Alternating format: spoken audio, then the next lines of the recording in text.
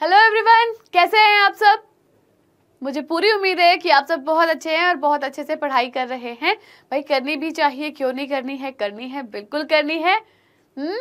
तो चलो, इस पढ़ाई के सफ़र को थोड़ा सा आसान बनाते हैं आप और हम मिलके। तो बच्चे लोग, मैं हूँ विजेता, आपके बायोलॉजी टीचर और हम यहाँ पे बात कर रहे थे अपने चैप्टर के बारे में, वंशागति तथा विविधता के सिद्धांत, जिसको हम बोलते हैं principles of inheritance and variation बहुत ही इंटरेस्टिंग सा टॉपिक आज हम डिस्कस करने जा रहे हैं। ठीक है? बहुत ही इंटरेस्टिंग सा। क्या बात करेंगे? कि चलो पहले से क्योंकि रिवीजन देखेंगे, लेकिन उससे पहले जानो कि आज हमको क्या बात करनी है। हम अनुवंशिक विकारों के बारे में आज बात करेंगे। तो लास्ट क्लास में हमने क्या देखा था? हमने बात करी थी वंशावली विश्लेषण के बारे में, है ना? हमने वंशावली विश्लेषण के बारे में बहुत सारी बात करी थी लास्ट क्लास में अपनी। क्या बात करी थी? कि ये जो वंशावली विश्लेषण होता है, इसको हम क्या बोलते हैं? पेडिग्री एनालिसिस ठीक है? पेडिग्री एनालिसिस बोला जाता है इसको। ठीक है? इसके साथ साथ इसको और क्या बोलते हैं? इसको हम वंश वृक्ष भी बोलते हैं। क्या बोलते हैं? वंश वृक्ष। जो किस लिए कार्य, जो क्या क्या कार्य करता है? ये कार्य करता है आपका कि कोई भी आनुवंशिक बीमारी है है ना? कोई भी आनुवंशिक विकार है या बीमारी है, उसका पता लगाने के लिए। जो सदियों से मतलब पीढ़ियों से, सदियों से तो नहीं, जो पीढ़ियों से एक पर्टिकुलर फैमिली में चली आ रही है तो उसके बारे में पता लगाने का काम ये वंशावली विश्लेषण करता है। एक पर्टिकुलर लक्षण के बारे में अगर हम बोले तो किसके लिए? एक पर्टिकुलर लक्षण के बारे में। ठीक है? पर्टिकुलर लक्षण के बारे में अगर हम बात करें तो उसके लिए ये काम करता है, जो एक जनरेशन से दूसरे जनरेशन में या दूसरे वंश में जा रहा है। ठीक? इतनी हमने बात करी थी। जहाँ पर हमने देखा था कि भैया इस तरीके से अगर कुछ बना हुआ होता है, कलर दूसरा ले लेते हैं, चलो। कैसे? हमने कहा था ये क्या है? एक नर होता है। है ना? और और क्या बात करती हमने? ये जो गोल गोल है, ये क्या है? ये मादा है। ठीक है? अब इन दोनों की अगर शादी हो जाएगी तो इस, इन दोनों की शादी कैसे दिखाएँगे हम? इनके बीच में एक लाइन बनाकर। कैसे दिखाएँगे?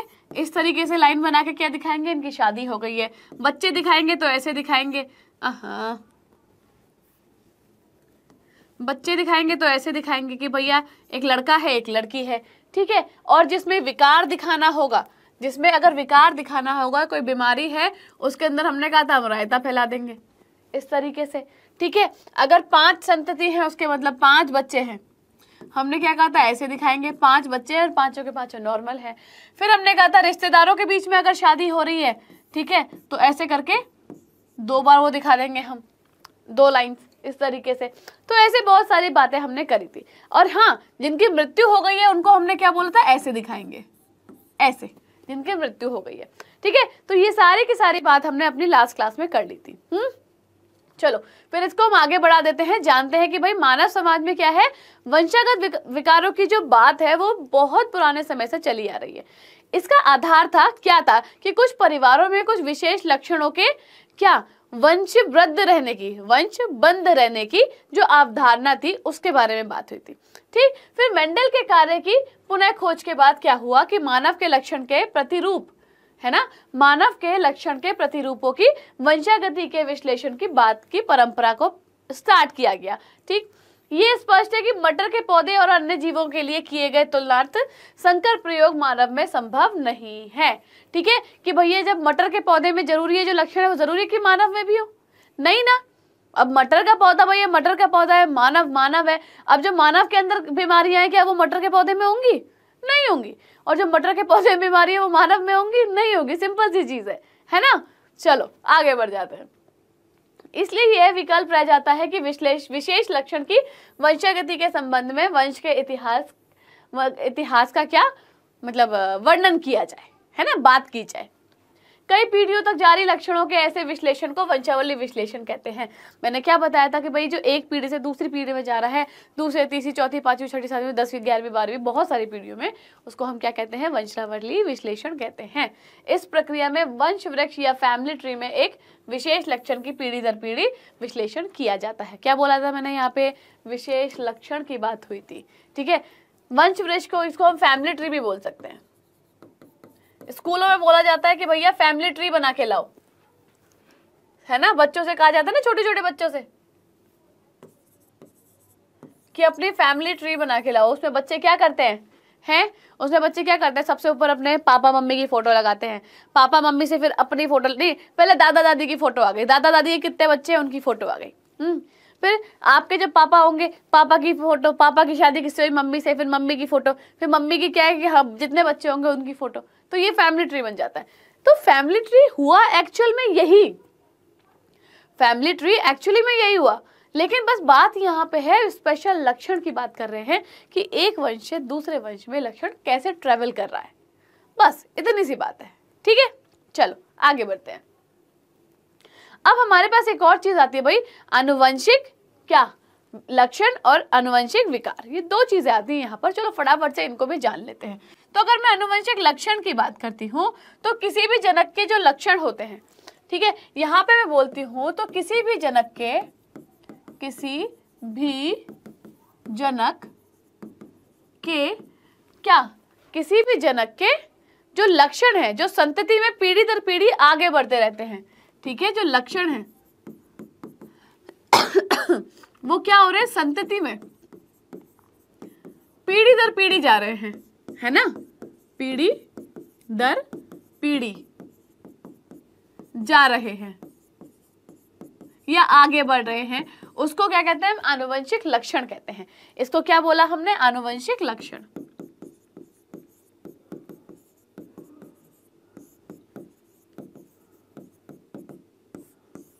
क्या बोला हमने इसको? आनुवंशिक लक्षण बोला।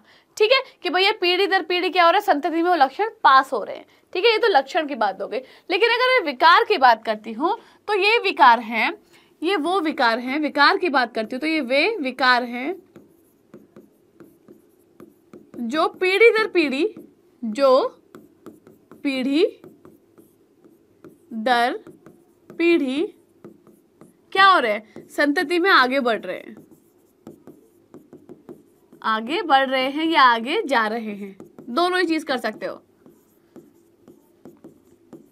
ठीक है? अब ये जो होते हैं, ये दो प्रकार के होते हैं। यहाँ पर ये जो विकार है, विकार क्या है कि भाई हमने बोला संतति में, ये पीढ़ी दर पीढ़ी जा रहे हैं, लेकिन अब ये जो विकार है, दो प्रकार के दो प्रकार की बीमारियाँ आगे बढ़ रही हैं मतलब डिसऑर्डर आगे बढ़ रहे हैं। तो कौन से हैं दो प्रकार? एक हमारे पास क्या आ जाता है? मेंडलीय मेंडलीय विकार। ठीक है? एक तो ये आ गया हमारे पास, दूसरा क्या आ गया? गुणसूत्रीय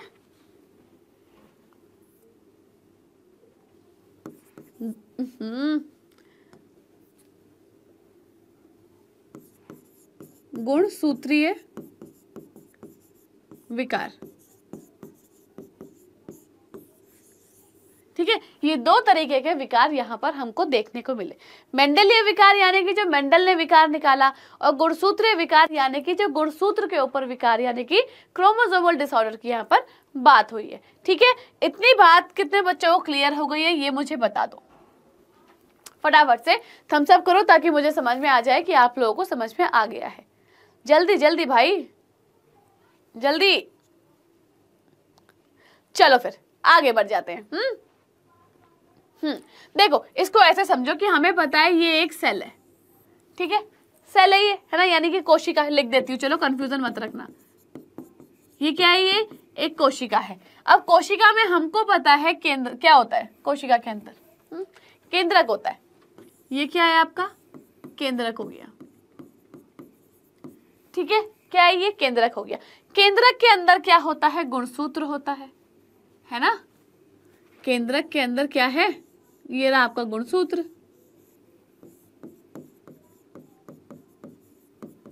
ठीक, अब ये जो गुणसूत्र है, हमें पता है इस गुणसूत्र के अंदर डीएनए होता है। हुँ? हम्म? हमें पता है इसके अंदर डीएनए है। लो जी, डीएनए आ गया इसके अंदर। गुणसूत्र के अंदर क्या है, लो यहाँ लिख देते हैं ताकि बिल्कुल कंफ्यूजन ना हो। डीएनए है। अब ये जो डीएनए है, ये क्या होता है, इसमें छोटे छोटे खंड होते हैं। छोटे छोटे खंड होते हैं। है ना?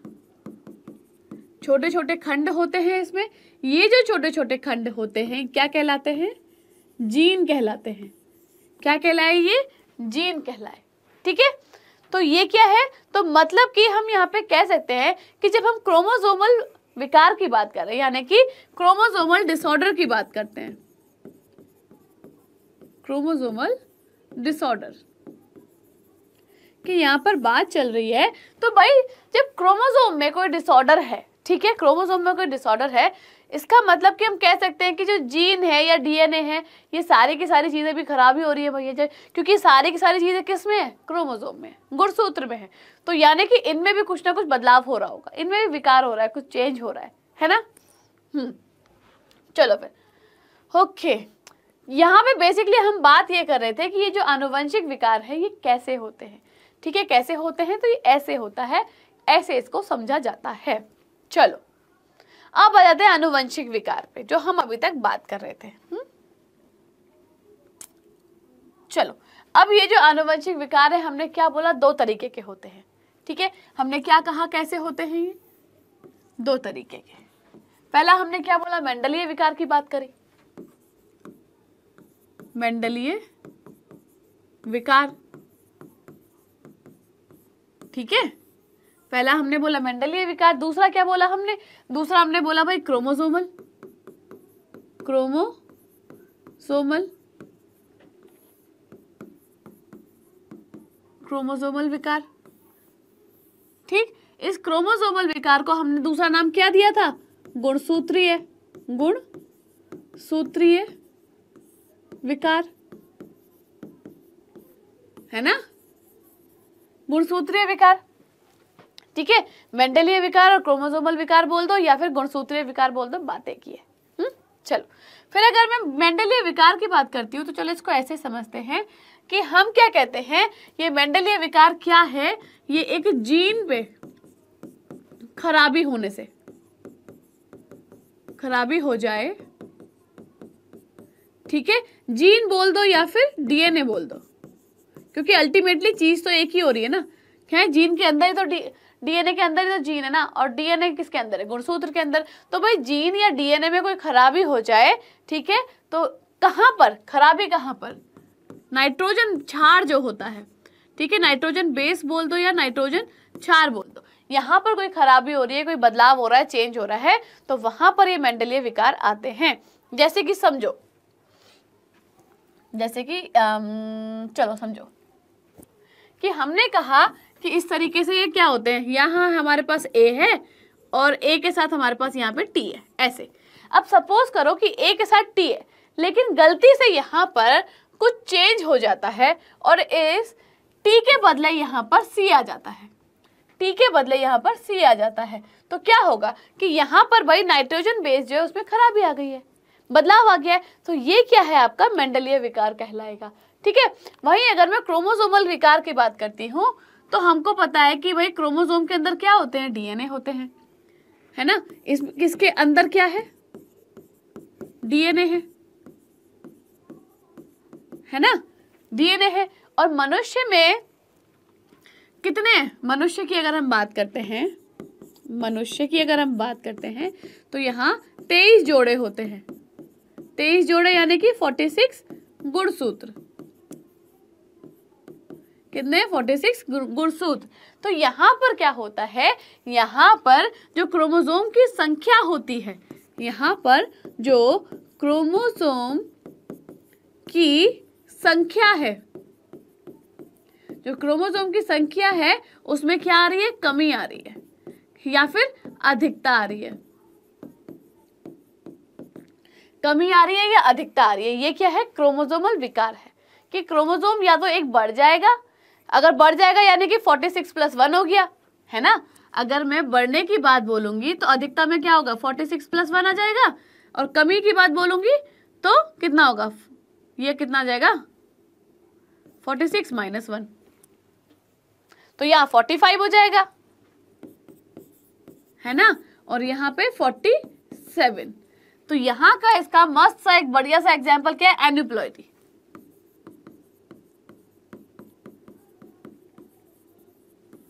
ठीक है?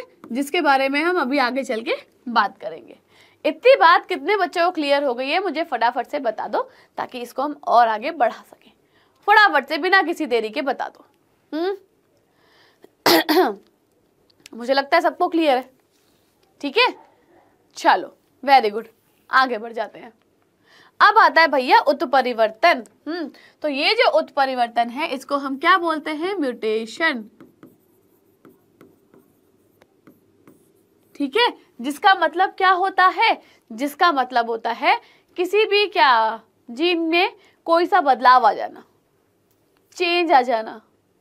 ठीक है? उसको हम क्या बोल रहे हैं? उत्परिवर्तन बोल रहे हैं। और ये क्या होता है? ये आपका क्या होता है? मेंडलीय विकार।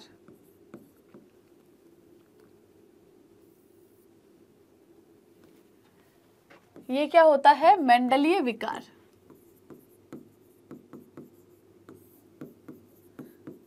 तो अब बात करेंगे भाई, ये जो मेंडलीय विकार होता है, ये होता है दो तरीके का। ठीक है? अभी तक हमने पढ़ा था कि अनुवंशिक विकार दो तरीके के हैं, मेंडलीय और क्रोमोसोमल। अब हम इसकी बात कर रहे हैं, मेंडलीय विकार की बात कर रहे हैं जो जहाँ पर उत्परिवर्तन देख रहे हैं हम। ठीक है? तो हमने क्या बोला? दो प्रकार का है। कौन सा है? अलिंग अलिंग सहलग्न, विकार। अलिंग सहलग्न, विकार, ठीक है? और यहाँ क्या है? लिंग सहलग्न, विकार।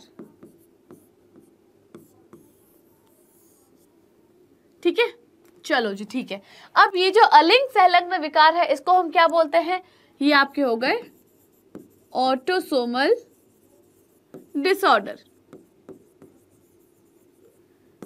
क्या हो गई ये? ऑटोसोमल डिसऑर्डर वही अगर मैं लिंग सहलग्न की बात कर रही हूँ तो ये क्या हो गए? सेक्स लिंक्ड डिसऑर्डर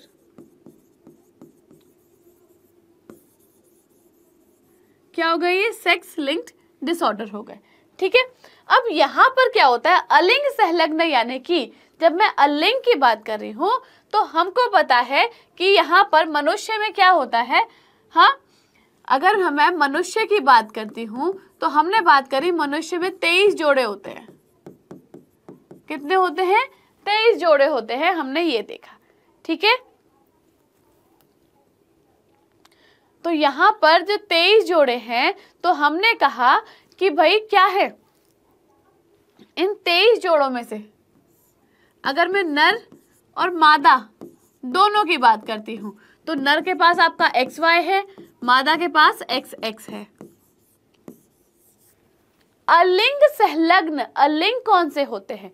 लिंग मतलब कि भाई जो डिसाइड कर रहे हैं कि लड़का या लड़की होगी, वहाँ पर उसकी बात हो रही है। और अलिंग का मतलब जो नहीं डिसाइड कर रहे हैं, ऐसे विकार जो ऐसे क्रोमोजोम के ऊपर होते हैं, जो डिसाइड नहीं कर पाते हैं।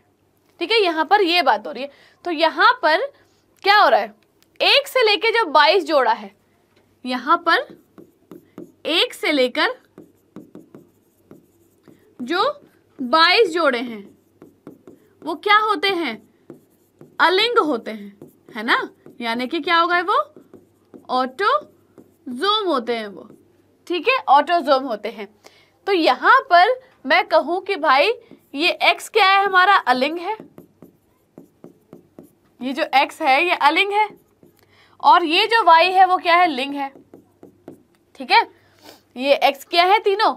अलिंग क्रोमोजोम है, y क्या है? लिंग क्रोमोजोम है। तो यहाँ पर क्या है भाई? यहाँ जो ये डिज़ीज़ है, यहाँ पर ये जो डिज़ीज़ हो रही है, वो किस पे हो रही है? अलिंग पे हो रही है। ठीक है? किस पे हो रही है? अलिंग पे हो रही है। यानी कि यहाँ जो ये क्या है? क्रोमोजोम है। इसके अंदर क्या है? डीएनए है। यहाँ पर जो डीएनए है, इसमें क्या आ रही है? कुछ खराबी या गड़बड़ हो रही है। ठीक है? ये जो अलिंग क्रोमोजोम है, उनकी बात चल रही है, यानी कि एक से लेके बाईस। हमें पता है तेईस जोड़े होते हैं। ठीक है? तो तेईस जोड़े यानी कि ट्वेंटी टू प्लस वन। है ना? तो यहाँ पर इस एक को छोड़ के, क्योंकि एक क्या है? ये तो नर में है ना? है ना? बाकी नर में क्या है? अगर मादा में बात करें तो मादा में तो तेईस के तेईस हो गए हैं, पर जब नर की बात करेंगे तो नर में क्या है, ये बाईस जोड़े हो जाते हैं। है ना? चलो, फिर अगर मैं लिंग संलग्न की बात करती हूँ।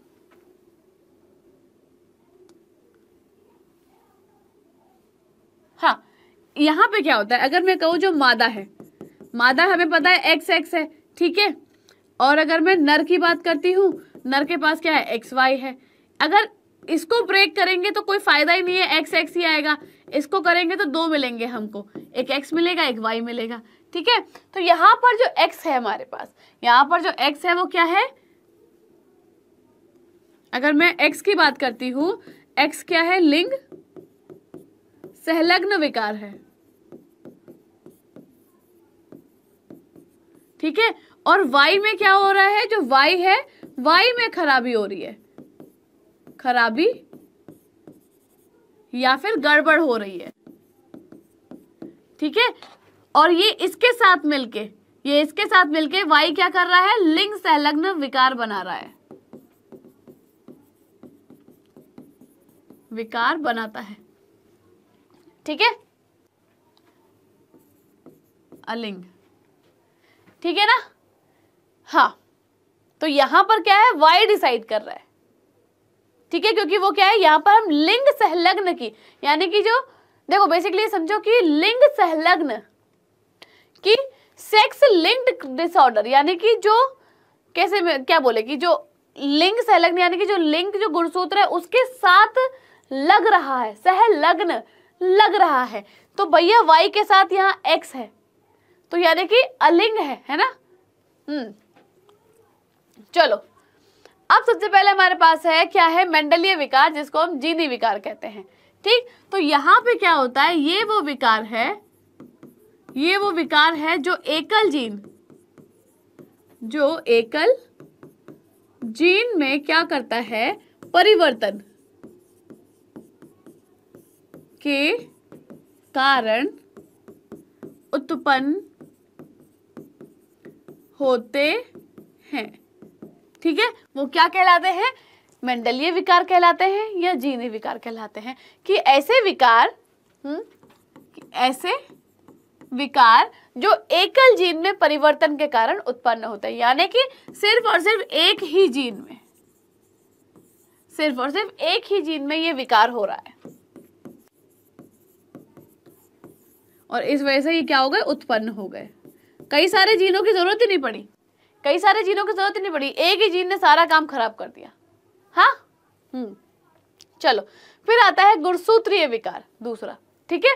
तो भाई गुणसूत्रीय विकार में आप क्या बोलोगे? ये क्या है गुणसूत्रों की? गुणसूत्रों की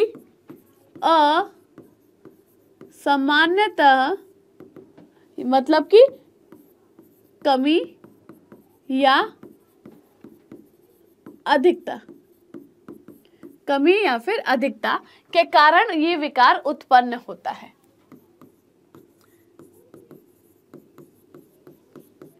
ये जो है विकार उत्पन्न होता है, जिसको हम क्या बोलते हैं? गुणसूत्रीय विकार कहते हैं। ठीक है? इतनी बात सबको क्लियर है ना? हो गई सबको क्लियर बताओ। चलो, बढ़िया है क्लियर हो गई है है ना? लेकिन मेंडलीय विकार को जानने से पहले आपके लिए जानना बहुत ज़रूरी है। क्या जानना ज़रूरी है? कि मेंडल जी कौन थे? पता है ना आप लोगों को? हाँ? नहीं पता है। नहीं पता है तो भाई होमवर्क में कि पता करके आओगे, ठीक है? तो अगर हम मेंडलीय विकारों की बात करते हैं तो मेंडलीय विकारों की जो वंशागति के उदाहरण को हम किसी भी परिवार के, इसके जो उदाहरण है है ना? उदाहरण को हम किसी भी किसी भी परिवार में वंशावली वंशावली विश्लेषण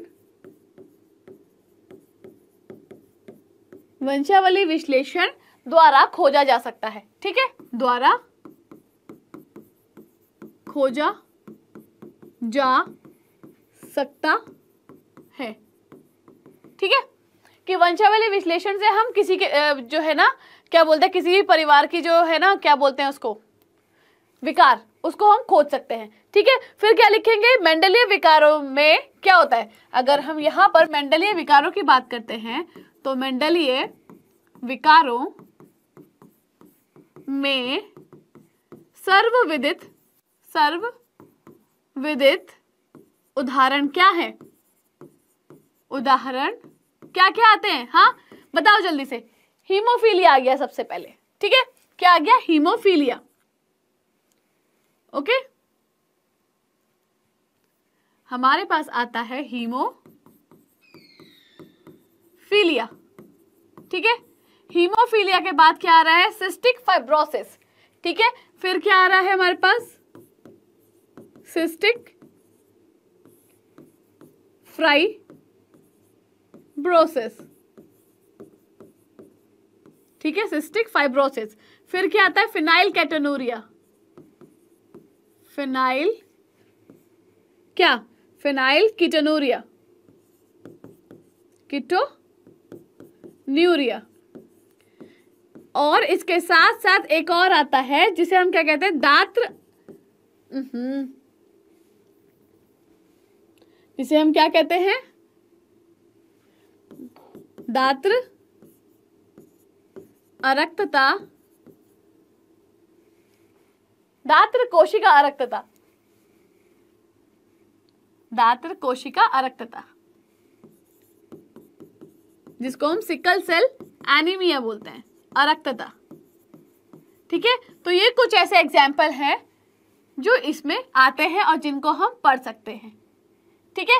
इतनी बात सब बच्चों को क्लियर कि ये उदाहरणों के बारे में हम बात कर रहे हैं कि ये सब क्या है? उदाहरण है इसके। ठीक? चलो, ठीक है। अब यहाँ पे ये भी बताना बहुत ज़्यादा ज़रूरी है आपको भाई कि ये जो मेंडलीय प्रकार है, ये प्रभावी भी होते हैं और अप्रभावी भी होते हैं। ये जानना बहुत ज़रूरी है कि ये जो मेंडलीय विकार हैं, है ना? ये क्या है? प्रभावी भी है, प्रभावी। हम्म? प्रभावी है और क्या है? अप्रभावी। अप्रभावी। दोनों है, ठीक है? दोनों तरीके के हैं ये, ठीक है ना? अब यहाँ पर क्या होता है कि भाई, लक्षण लिंक क्रोमोसोम आधारित भी हो सकते हैं। अगर हम इसके लक्षणों की बात करते हैं तो लक्षण जो हैं, लक्षण जो हैं, वो क्या हो सकते हैं? लिंक क्रोमोसोम आधारित भी हो सकते हैं, है ना? हो सकते हैं। तो ये क्लियर है बिल्कुल भाई कि जो एक्स लग्न अप्रभावी लक्षण है, उसकी वादा उसकी जो, उसका वाहक कौन है? मादा है। ठीक है? उसको आगे लिख ले क्या? चलो, आगे लिख लेते चलो, बता देते कि जो एक्स लग्न, इसे से लिख देते हैं, चलो। कि जो एक्स लग्न, क्या है? एक्स लग्न अप्रभावी अप्रभावी लक्षण है। ठीक है? इसकी वाहक कौन है? इसकी वाहक कौन है? मादा है। ठीक है? और जो है, इसकी लक्षण कौन है? सॉरी जो है, जो एक्स लग्न अप्रभावी लक्षण की वाहक मादा है। ठीक है? और इससे मादा से किसको जाता है? मादा से किसको मिलेगा? जो नर संतति होती है। जो नर संतति होती है, उसको मिलता है ये। ठीक है? तो इसको हम कैसे देख सकते हैं? इसको कैसे देख सकते हैं कि भैया एक स्वस्थ नर है। स्वस्थ नर है हमारे पास एक, ठीक है? हाँ इसके पास क्या है? एक्स वाई है और एक ग्रसित नर है, ठीक है? तो इसके पास क्या है? इसके पास भी एक्स वाई है, ठीक? यहाँ पर क्या है? एक, यहाँ पर क्या है? हम्म? यहाँ पर क्या है? ग्रसित, नहीं, स्वस्थ मादा है यहाँ। स्वस्थ मादा। इसके पास क्या है? एक्स एक्स है। ठीक है? और यहाँ क्या है? ग्रसित मादा। इसके पास क्या है? एक्स एक्स है। तो यहाँ पर क्या होता है? देखो, समझने वाली बात यह है कि अगर हम स्वस्थ की बात कर रहे हैं तो ना एक्स पे कुछ होगा, ना वाई पे कुछ होगा। दोनों पे कुछ नहीं होगा। बिल्कुल इसी तरीके से अगर मादा की बात है तो ना एक्स पे होगा, ना एक्स पे होगा। दोनों पे कुछ नहीं होगा। लेकिन अगर हम ग्रसित नर की बात कर रहे हैं तो ग्रसित नर यानी कि भैया किस पे होगा? यहाँ मादा से मिल रहा है, यानी कि एक्स पे होगा। ठीक है, क्या है ये? एक्स लग्न अप्रभावी लक्षण, यानी कि ये अप्रभावी है। लक्षण है, लेकिन अपने आप को दिखाएगा नहीं। लक्षण है, लेकिन अपने आप को दिखाएगा नहीं। तो एक्स लग्न अप्रभावी लक्षण की वाहक कौन है? मादा है। ठीक है तो ये एक्स पे मिलेगा हमको। ठीक, वही अगर ग्रसित मादा की बात हो रही है तो यहाँ पर तो दोनों एक्स है तो इन दोनों पे मिलेगा। ये दोनों क्या है? प्रभावी हो जाएँगे फिर। ठीक है? ये दोनों क्या हो जाएँगे? प्रभावी हो जाएँगे। और ये क्या है? अप्रभावी हो जाएगा फिर। क्योंकि यहाँ पे क्या है? यहाँ वाई है ना जो अपने आपको शो कर रहा है। ठीक है? तो भैया वो प्रभावी हो गया, यहाँ पर ये अप्रभावी हो गया। इतनी बात क्लियर है ना? चलो फिर। क्लियर है तो आगे बढ़ जाते हैं। है ना? अब आता है हीमो अच्छा हीमोफीलिया आ गया इसके बाद। लेकिन उससे पहले हमें एक चीज़ और जाननी ज़रूरी थी भाई अनुवंशिक विकार के बारे में। कहाँ गया हमारा अनुवंशिक विकार? हम्म? अच्छा यहाँ पे स्लाइड ऐड कर लेते हैं। चलो। ठीक है? यहाँ पर हम दो तीन स्लाइड को ऐड कर लेते हैं, क्योंकि अनुवंशिक विकार को जानना बहुत ज़्यादा ज़रूरी है। ठीक है? ठीक है। तो हमने अभी मेंडलीय विकार के बारे में जान लिया, लेकिन उससे पहले एक बार अनुवंशिक विकार के ऊपर फिर से आ जाओ। ठीक? अनुवंशिक विकार।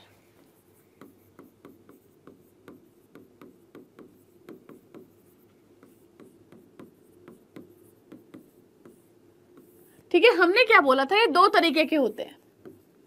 ठीक है, एक तो मेंडलीय हो गए, जिसके बारे में हमने अभी अभी पढ़ा है। है ना? मेंडलीय विकार के बारे में अभी अभी पढ़ा है हमने। है ना? और दूसरा क्या हो गया? क्रोमोसोमल। क्रोमोसोमल विकार। ठीक है? तो अगर मैंने मेंडलीय विकार के बारे में आपको बताया है अभी, ठीक है? मेंडलीय विकार के बारे में बताया तो यहाँ पर ये जानना ज़रूरी है कि भैया ये जीन और डीएनए दोनों में चेंज आ सकता है यहाँ पर, बदलाव आ सकता है, ठीक है? और इससे क्या होगा अलग अलग विकार होते हैं। क्या होते हैं? अलग अलग विकार होते हैं। ठीक है? इस चीज़ को ध्यान में रखना बहुत ज़्यादा ज़रूरी है। अब यहाँ जो विकार होते हैं, वो कौन कौन से होते हैं, वो जानना बहुत ज़्यादा ज़रूरी है। सबसे पहले हमारे पास क्या आता है? हीमोफीलिया आता है। ठीक है? नंबर वन पे हम किसको उठाते हैं? हीमोफीलिया। फीलिया। ठीक है? नंबर दो पे हमारे पास क्या आता है? वर्णांधता। ठीक है? वर्णांधता। ठीक है? वर्णांधता। ठीक है ना? ठीक है। ये दोनों आ गए। नंबर तीन पे हमारे पास क्या आता है? नंबर तीन पे हमारे पास आता है दांत। कोशिका अरक्तता। दात्र, कोशिका अरक्तता। ठीक है, नंबर तीन पे आ गया। चार पे क्या आ गया? फिनाइल केटोनूरिया आ जाता है चार पे। फिनाइल कीटोन्यूरिया ठीक है, ये आ गया आपका चार नंबर पे। और पाँचवें नंबर पे आपके पास आता है थैलेसीमिया। क्या आ गया? थैलेसीमिया। ठीक है तो इस तरीके से पाँच आपके पास मेंडलीय विकार आ जाते हैं। तो जिसमें से अगर हमने जो नीले रंग से लिखा है, ठीक है, जो नीले रंग से हमने यहाँ पर लिखा है तो ये दोनों कौन है? हीमोफीलिया और वर्णांतता। ये दोनों हमारे पास है, एक्स, लिंग, सहलग्न। अप्रभावी विकार। अच्छा प्रभावी विकार।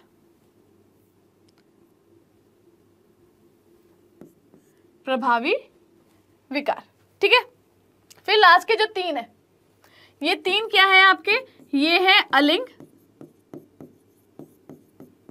क्रोमोसोमल क्रोमोसोमल अ प्रभावी विकार। ठीक है? दोनों ये अप्रभावी विकार है। ठीक है? चलो, यहाँ तक क्लियर ना कि भैया ये क्या एक्स लिंक सहलग्न है और ये अलिंग क्रोमोसोमल है। ठीक है? तो यहाँ पर ये हमको पाँच चीज़ें पढ़नी है। इतनी बात सब बच्चों को क्लियर जल्दी बताइए। क्लियर हो गई ना इतनी बात सबको? है ना? कोई डाउट तो नहीं है किसी को? हाँ? ठीक है ना? हम्म चलो फिर। अब आ जाते हैं भैया हम हीमोफीलिया के ऊपर। मेंडलीय विकार आ गया हमारा। ठीक है, अब आ जाते हैं हीमोफीलिया के ऊपर। ठीक है, हीमोफीलिया। तो अगर मैं हीमोफीलिया की बात करती हूँ तो हीमोफीलिया को क्या बोलते हैं? रॉयल डिज़ीज़ बोलते हैं। रॉयल डिज़ीज़ बोलते हैं। क्यों बोलते हैं इसको रॉयल डिज़ीज़? हाँ कौन बता सकता है कि इसको रॉयल डिज़ीज़ क्यों बोलते हैं? क्योंकि ये किसी रानी के किसमें पाई गई थी? हाँ? खानदान में पाई गई थी। ठीक है ना? ठीक है। तो ये क्या है? क्या बताया था मैंने यहाँ पर अभी? हाँ? कि कहाँ गया? यहाँ पे बताया था ना देखो कि ये क्या है? एक्स लिंक सहलग्न अप्रभावी विकार होता है। ठीक है? तो इसको हम क्या लिखेंगे? हम लिखेंगे कि भाई ये जो रॉयल डिज़ीज़ है, ये क्या है? एक्स एक्स लिंक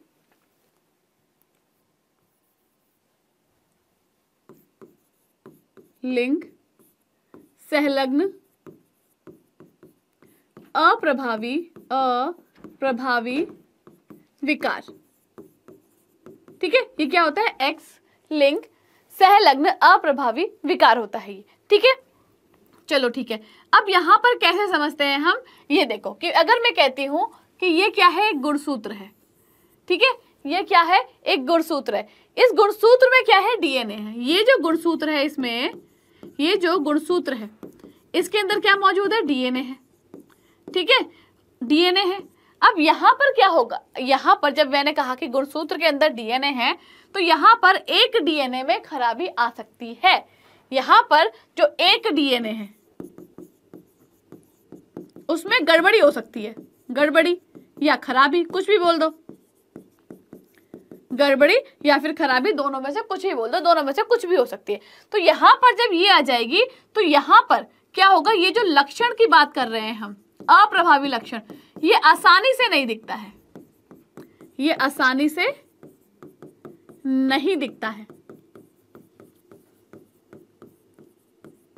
ठीक है? ये क्या है हमको आसानी से नहीं दिख रहा है। इतनी बात क्लियर कि भाई ये क्या है इसके अंदर? ये डीएनए है। ठीक है ना? और ये क्या होगा? ये आसानी से नहीं नज़र आएगा। इस चीज़ को याद रखना। ठीक है? अब यहाँ पे क्या होता है कि जब यहाँ पर डीएनए में गड़बड़ी हो रही है तो यहाँ इसके लक्षण कैसे दिखेंगे? कि भाई जो रुधिर है, यानी कि जो हमारा खून है, ठीक है? तो जब चोट लगती है तो आप लोगों ने देखा होगा कि अगर यहाँ चोट लग तो थोड़ी टाइम बाद क्या होता है ना, थोड़ी टाइम बाद कि वो जो यहाँ पे ब्लड होता है, वो क्या होता है? क्लॉट हो जाता है, यानी कि उसका थक्का बन जाता है, ताकि आगे जो है खून ना निकल सके और यहाँ पे वो स्टॉप हो जाए। ठीक है? तो लक्षण क्या होगा इसका कि जो रुधिर होता है ना, जो रुधिर है तो रुधिर का थक्का नहीं बनेगा सबसे पहली बात, है ना? थक्का मतलब क्लॉटिंग नहीं बनेगी। क्लॉटिंग नहीं होगी या बनता है। ठीक है? दूसरा क्या होगा यहाँ पे? एक और चीज़ होती है, क्या होती है?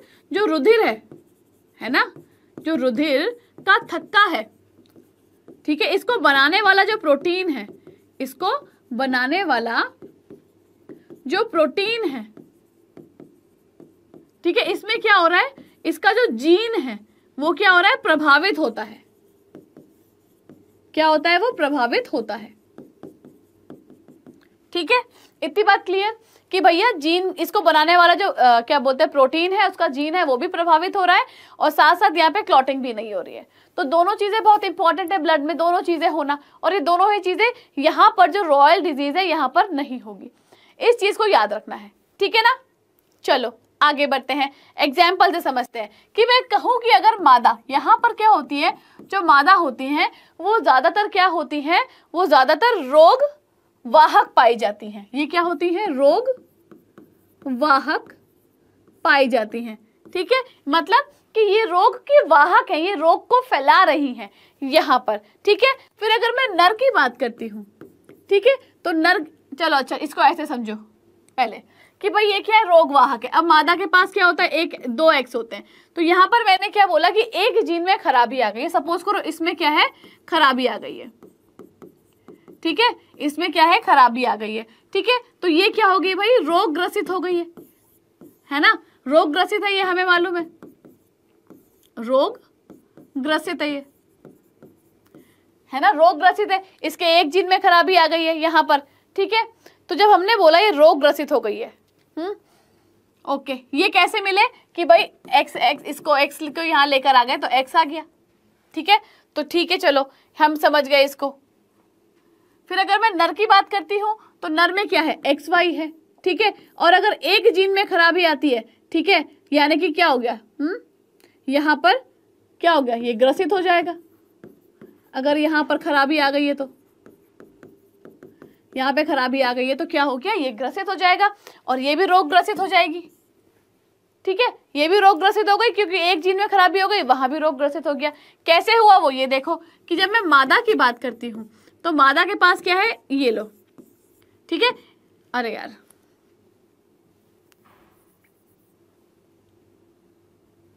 ये देखो, ये रही मादा आपकी, और ये क्या रहा? नर। मादा के पास क्या है? एक्स एक्स है। नर के पास क्या है? एक्स वाई है। यहाँ पर हमने क्या बोला कि एक इसमें खराबी आ गई है। वो क्या है? एक्स वाई नॉर्मल है। ठीक है? तो यहाँ पर क्या होगा कि इसकी पहले इसके साथ कराई जाएगी। क्या मिला हमको? एक्स एक्स मिला, ठीक? अब ये वाला जो, यही वाला जो है, इसकी हमने इसके साथ कराई। क्या मिला हमको? एक्स वाई मिला, ठीक? अब दूसरे के कराते हैं। ये वाला जो एक्स है हमने इसकी, इसके साथ कराई। हमें एक्स एक्स मिला और यही वाला इसके साथ कराई एक्स वाई मिला। यानी कि ये दोनों जो क्या मिले हमको यहाँ पर यहाँ पर, ये एक्स है, ठीक है? ये दोनों क्या है? रोग, रुको, एक रोग वाहक है और एक रोग ग्रसित है। है ना? ये क्या है आपका रोग वाहक? हमने क्या बोला मादा क्या होती है? रोग वाहक होती है और नर क्या होता है? रोग ग्रसित होता है। यहाँ बेचारे नर के साथ बहुत बड़ी चोट हो जाती है हुँ? हम्म, कि मादा वाहक रहेगी और जो नर है वो ग्रसित हो जाएगा। फिर बात अगर यहाँ आती है तो ये दोनों कैसे हैं? बिल्कुल सामान्य है। बिल्कुल सामान्य है। इनमें कोई दिक्कत नहीं है। ठीक है? इतनी बात सब बच्चों को क्लियर है ना? क्लियर हो गई इतनी बात सब बच्चों को? चलो, बहुत बढ़िया, आगे बढ़ते हैं। अब देखो टेक्स्ट क्या बोलता है टेक्स्ट को समझ लो। कि भाई इस लिंग सहलग्न रोग वाहक, रोग का व्यापक अध्ययन हो चुका है, इसको बहुत ज़्यादा पढ़ा जा चुका है। इसमें प्रभाव रहित वाहक नारी से नर संतति को रोग का संचार होता है। मैंने बताया कि भैया नारी से नर को होता है इसमें हुँ? हम्म? और इसमें क्या होता है? इस रोग में रुधिर के थक्का बनने के संबंध एकल प्रोटीन प्रभावित होता है, ये भी मैंने आपको ऑलरेडी अभी बताया था। कि यहाँ पर क्या हो रहा है कि भैया, जिसकी वजह से थक्का बन रहा है है ना? जिसकी वजह से थक्का बन रहा है, वो जो प्रोटीन है, वो यहाँ पर क्या हो रहा है, प्रभावित हो रहा है। ठीक है? यह एक एकल प्रोटीन श्रृंखला का अंश मात्र होता है। ठीक? अंश मतलब जरा सा बिल्कुल, जरा सी मात्रा। इसके कारण आहत व्यक्ति के शरीर की एक छोटी सी चोट से भी रुधिर का निकलना बंद ही नहीं होता है। भाई देखो, मैंने आपको क्या बोला कि खून निकलना कब बंद होगा, जब जो है क्या होगा? हम्म जब उसके ऊपर थक्का बन जाता है, चोट लग जाती है तो। ठीक है, जब यहाँ पे चोट बन रही है, उसके ऊपर खून जम ही नहीं रहा है तो भाई खून तो बहता रहेगा ना। सिंपल सी बात है? विषम युग्म नारी यानी कि वाहक से ये रोग पुत्रों में जाता है, जो हम ऑलरेडी डिस्कस कर चुके हैं। फिर नारी की रोगग्रस्त होने की संभावना विरल होती है मतलब बहुत रेयर होती है कि नारी रोगग्रस्त हो जाए। ये हमेशा वाहक का काम करती है, ये फैलाने का काम करती है। हुँ? हम्म? क्योंकि इस प्रकार की नारी की माता को कम से कम वाहक और पिता को हीमोफीलिया से ग्रस्त होना पड़ेगा। देखो, जो एक नारी है, ठीक है, वो रोग ग्रसित कब होगी? रोग ग्रसित कब होगी? हम्म? जब यहाँ जो नारी है, इसकी जो माता है, इसकी जो माता है, वो क्या है? वो होगी आपकी वाहक। हम्म? वो होगी आपकी वाहक और जो इसका पिता है, ठीक है? वो क्या होगा? रोग ग्रसित रोग ग्रसित ठीक है? तो ये चीज़ आपको याद रखनी ज़रूरी है और मुझे लगता है कि ये जो लाइन लिखी है मैंने, वो इस एक डायग्राम में आपको समझ में आ गई होगी कि मैं क्या कहना चाह रही हूँ। है ना? चलो, फिर अब महारानी विक्टोरिया। हम्म? कि भैया, महारानी विक्टोरिया की वंशावली में अनेक हीमोफीलिया ग्रस्त वंशज थे। ठीक है? बहुत सारे थे। है ना? जो स्वयं रोग की वाहक थी। तो सबसे पहले ये बीमारी महारानी विक्टोरिया में देखी गई थी। ठीक है? तो अगर महारानी विक्टोरिया के पूरे वंश की बात करते हैं तो ये क्या थी? ये खुद रोग वाहक थी। क्या थी रोग वाहक ठीक है? यानी कि इसके पास तो एक्स एक्स था। इसके पास क्या था? एक्स एक्स था। ठीक है? इसके एक एक्स में क्या आ गई थी? गड़बड़ी आ गई थी। ठीक है? एक एक्स के जीन में गड़बड़ी आ गई थी। ठीक है? जो क्या हुआ? पीढ़ी दर पीढ़ी आगे चलती रही। पीढ़ी दर पीढ़ी आगे बढ़ती रही। ठीक है? तो प्रॉपरली इसका मतलब ये है। इतनी बात कितने बच्चों को समझ में आई? फटाफट से मुझे क्लियर करके बताओ। बताइए जल्दी। हाँ? क्लियर चलो ठीक है। ये देखो, ये हीमोफीलिक जो है हीमोफीलिया में है।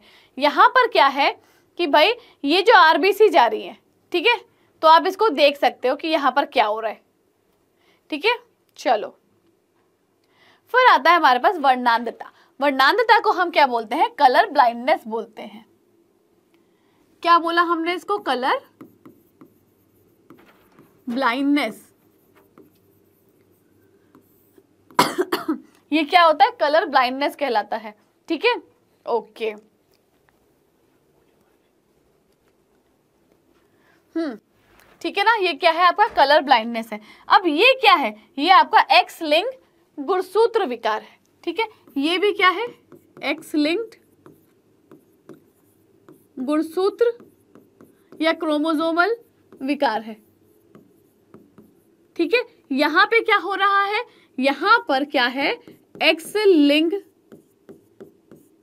एक्स लिंग सहलग्न, अप्रभावी विकार। ऐसे भी लिख सकते हैं इसको। ठीक है? ऐसे भी लिख लो या फिर ऐसे भी लिख लो।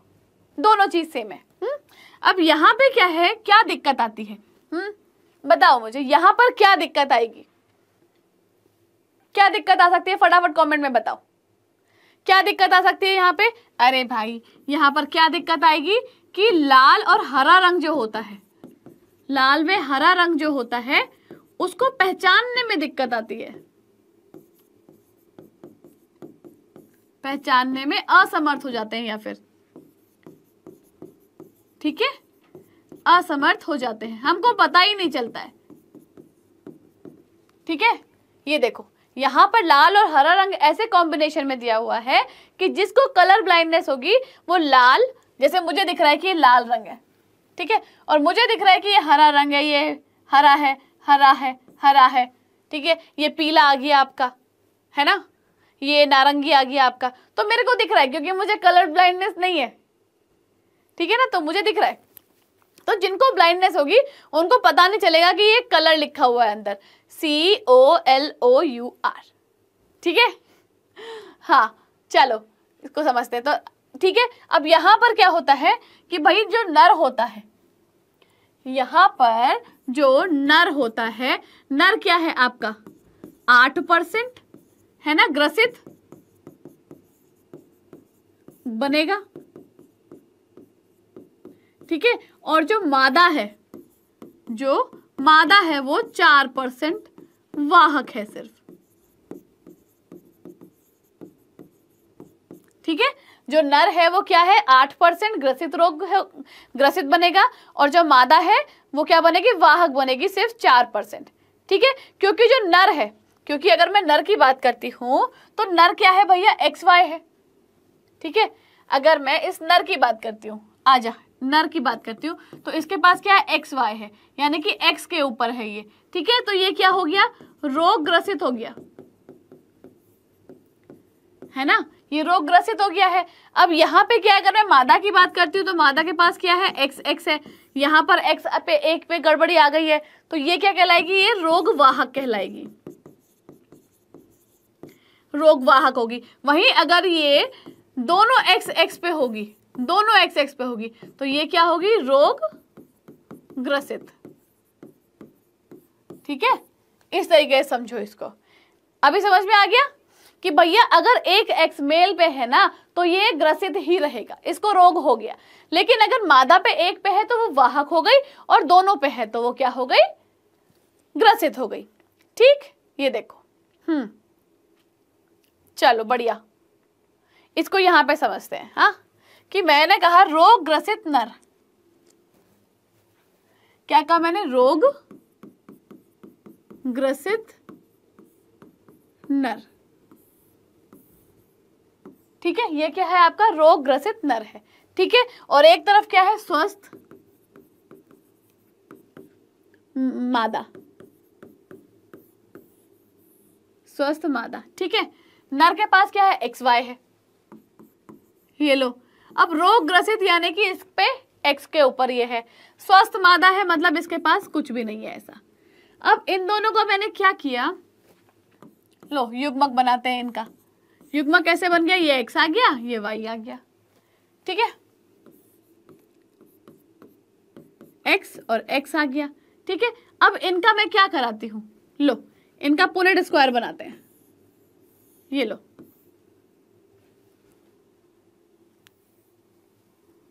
क्या बनाते हैं इनका? पुनेट स्क्वायर कहाँ बनाए? चलो यहाँ बना लेते हैं। ये लो। ये हो गया आपका पुनेट स्क्वायर ये आ गया एक्स एक्स ये आ गया एक्स वाई ठीक है? ये आपका नर है और वो आपकी मादा है। चलो, इन दोनों को कराया तो क्या मिला हमको? ऐसे। ठीक? इन दोनों को कराया तो क्या मिला? एक्स वाई एक्स वाई ऐसे मिला हमको, है ना? तो यहाँ पर देखो, यहाँ पर ये दोनों क्या है? एक्स एक्स एक्स एक्स ये दोनों क्या है? ये वाहक है। ये क्या हुए? वाहक हुए। ठीक है? मादा वाहक। ठीक है? और ये जो नर की बात हो रही है, ये नर कैसे है? ये सामान्य सामान्य नर है ये। ठीक है? अब देखो, फिर से देखो, फिर से बनाते हैं हम इसका एक बार और। ये देखो। ठीक है? पहली बार में कहा था एक्स वाई पे था। इस बार हमने एक्स पे रखा है। ठीक है? यानी कि जो मादा है, उसको हमने क्या बना दिया? वाहक बना दिया इस बार। ठीक है? और यहाँ पर जो क्या है? यहाँ पर कौन था? ग्रसित नर था। अब जब इन दोनों ही कराई तो हमको क्या मिला? ये मिला? इन दोनों ही कराई तो? ये मिला। ठीक है? इसका मतलब यहाँ पर क्या हुआ? हम्म? इसका मतलब यहाँ पर ये दोनों जो संतति बनी ये क्या थी? सामान्य थी? ठीक? और ये जो एक नर और एक मादा बने हैं, ये क्या है? हम्म? कि भैया, ये जो है, ये क्या बन गई आपकी वाहक बन गई है मादा? और ये क्या बन गया? ग्रसित हो गया। ठीक है? ऐसे ही हुआ है है ना? हम्म। चलो, यहाँ पर देखो, एक और चीज़ बताती हूँ।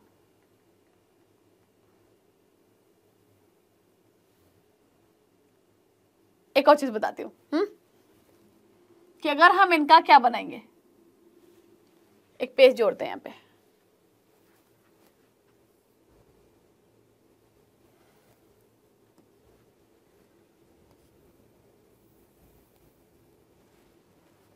लो। पेज जोड़ा हमने यहाँ पे, ठीक है? ठीक है। यहाँ पर हम बना रहे हैं कि भैया जो क्या है? जो नर है, वो क्या है? ग्रसित है। हमने बोला, नर क्या है? ग्रसित है। इनके बच्चे हुए। हम्म? कितने बच्चे हुए? लो। ये हो गया, ये हो गई, ये हो गया। ठीक है? ये इनके बच्चे हुए। अब यहाँ पर क्या हुआ? जो मादा थी, वो क्या हो गई? वाहक हो गई। ये नर क्या है? ग्रसित हो गया। यहाँ पर जो मादा है ये ये क्या है? वाहक हो गई है। ठीक है? मादा क्या है यहाँ पर? वाहक हो गई है। ओके, चलो। और जो दूसरी वाली है है ना? जो दूसरी वाली है, जो सेकंड नंबर की बनी है, वो भी क्या है? वाहक है। ये क्या है? ये भी वाहक है। अब ये जो वाहक थी, ठीक है? ये जो वाहक थी, इसने एक नॉर्मल लड़के से शादी कर ली। इसने क्या कर लिया? एक नॉर्मल लड़के से शादी कर ली। ये लो नॉर्मल लड़का आ गया। ठीक है? नर। नॉर्मल है ये। अब इनकी संतति पैदा हुई। ठीक है? इनकी क्या हो रही है? संतति पैदा हो रही है। देखो। संतति पैदा हुई। पहली लड़की हुई। लड़का हुआ। लड़की हुई। लड़का हुआ। अब यहाँ पर जब ये वाहक है, ये नॉर्मल है तो यहाँ पर जो पुत्री है है ना? यहाँ जो पुत्री है हम्म? लो। ये दोनों क्या बन गए? ये बन गई आपकी वाहक, और ये क्या हो गया? ग्रसित हो गया। और ये दोनों क्या हो गए? सामान्य। ठीक है, यही चीज़ हम लोगों ने पढ़ी थी अब तक। यही चीज़ हम दोनों ने पढ़ी थी जब क्रिस क्रॉस वंशागति में हमने देखा था। ठीक है? चलो फिर, अब ये पढ़ लेते हैं। हमने क्या बात करी? हम्म? क्या बात करी थी हमने? कि ये एक लिंग सहलग्न अप्रभावी विकार है।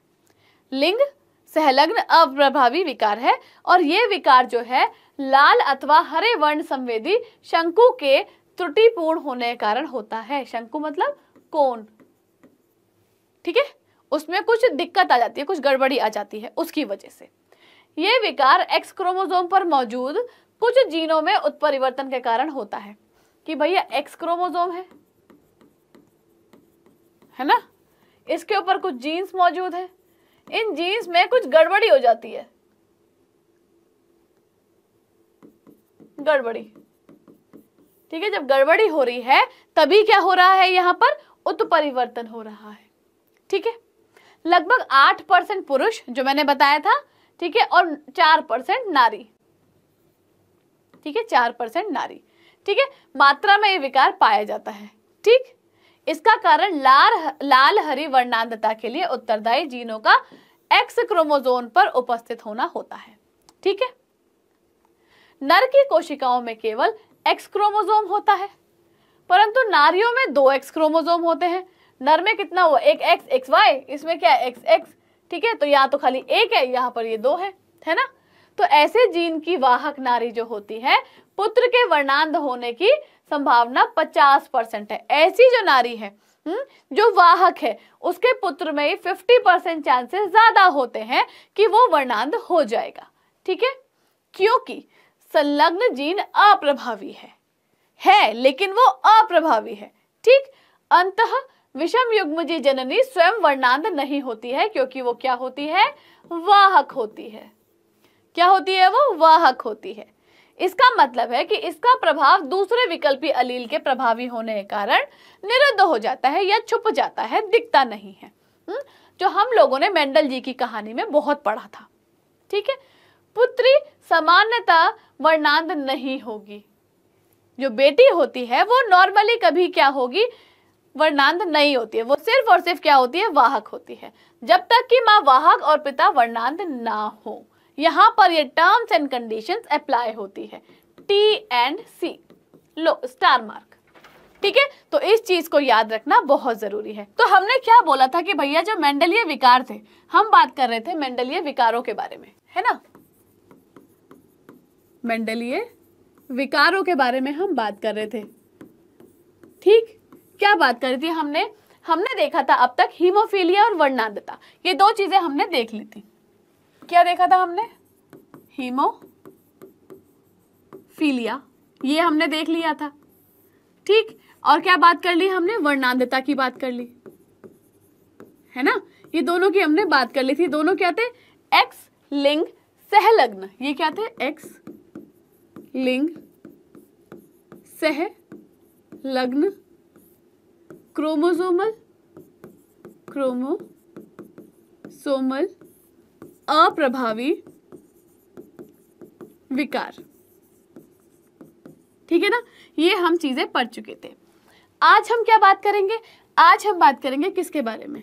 आज हम बात करेंगे दात्र, कोशिका अरक्तता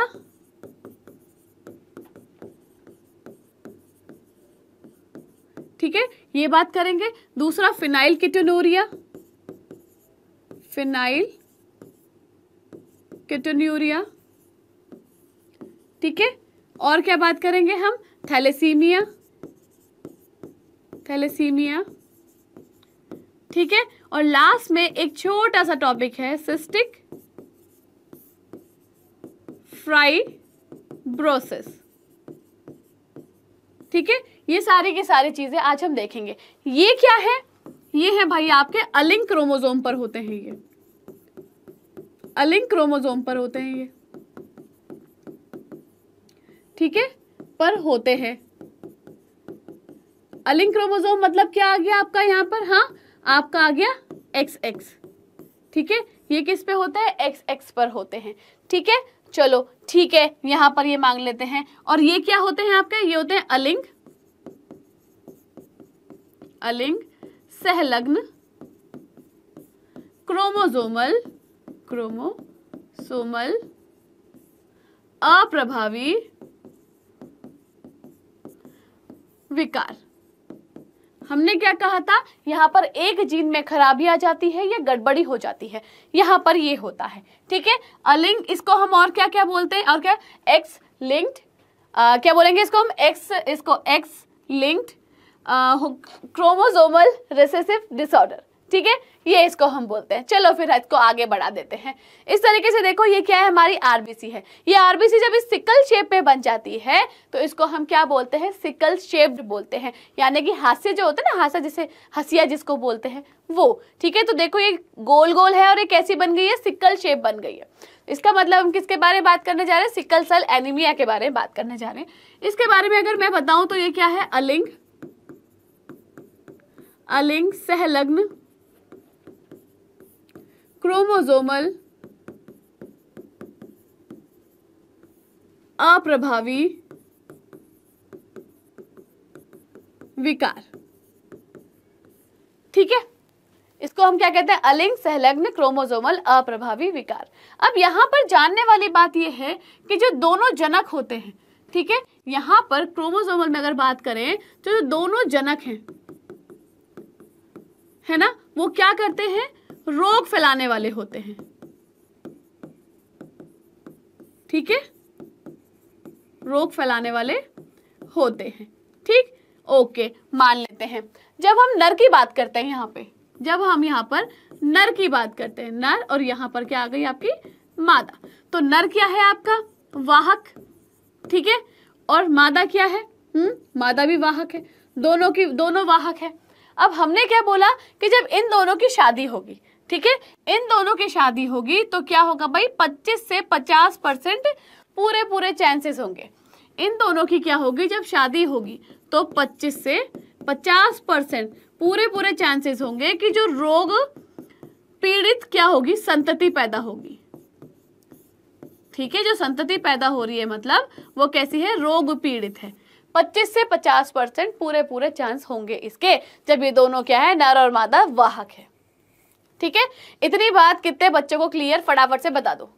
जल्दी से, ताकि इसको हम आगे बढ़ा सके। हम्म? अब हमने क्या बोला कि दोनों जो ये हैं, जनक रोग के वाहक हैं। अब यहाँ होता क्या है? यहाँ पर क्या होता है? कि भैया जब हम रक्त की बात कर रहे हैं, है ना? तो रक्त में क्या होता है हमको मालूम है कि आरबीसी होती है।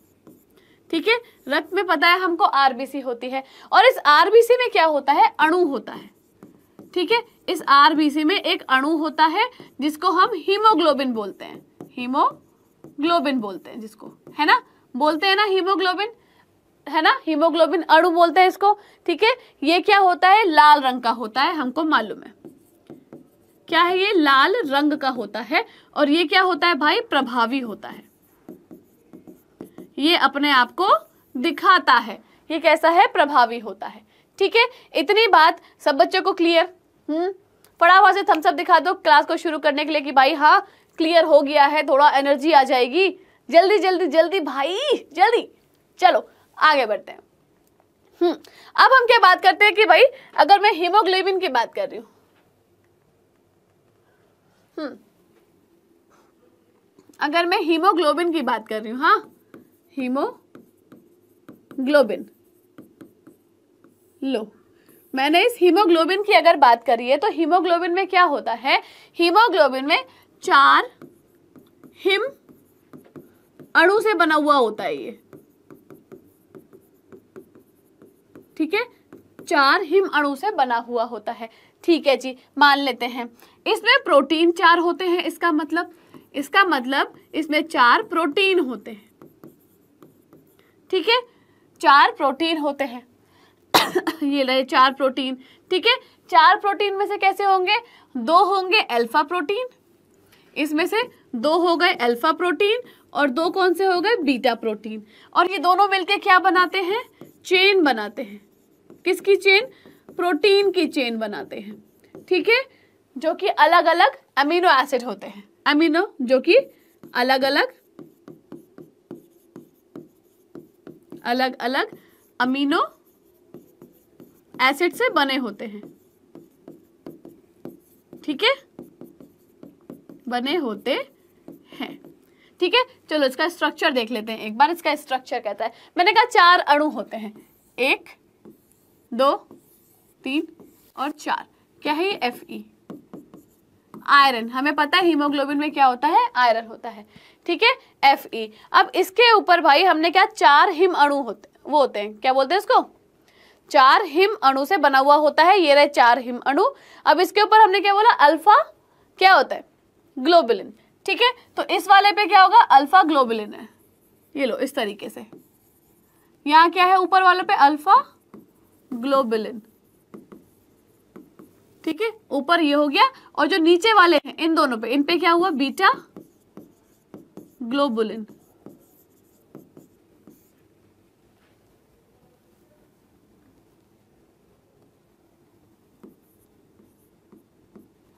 ठीक है? चलो, ठीक है। ये इस तरीके से यहाँ पर भी ऐसे होती है। ठीक है ना? चलो, इतनी बात सबको क्लियर हो रही है? अब यहाँ पर क्या होता है? यहाँ पर क्या होता है? कौन बताएगा मुझे? बताओ जल्दी से। यहाँ पर क्या होता है? हाँ यहाँ पर एक जगह पे क्या होता है भाई? अमीनो एसिड मौजूद होते हैं सपोज़ करते हैं। ठीक है? अमीनो एसिड मौजूद होते हैं।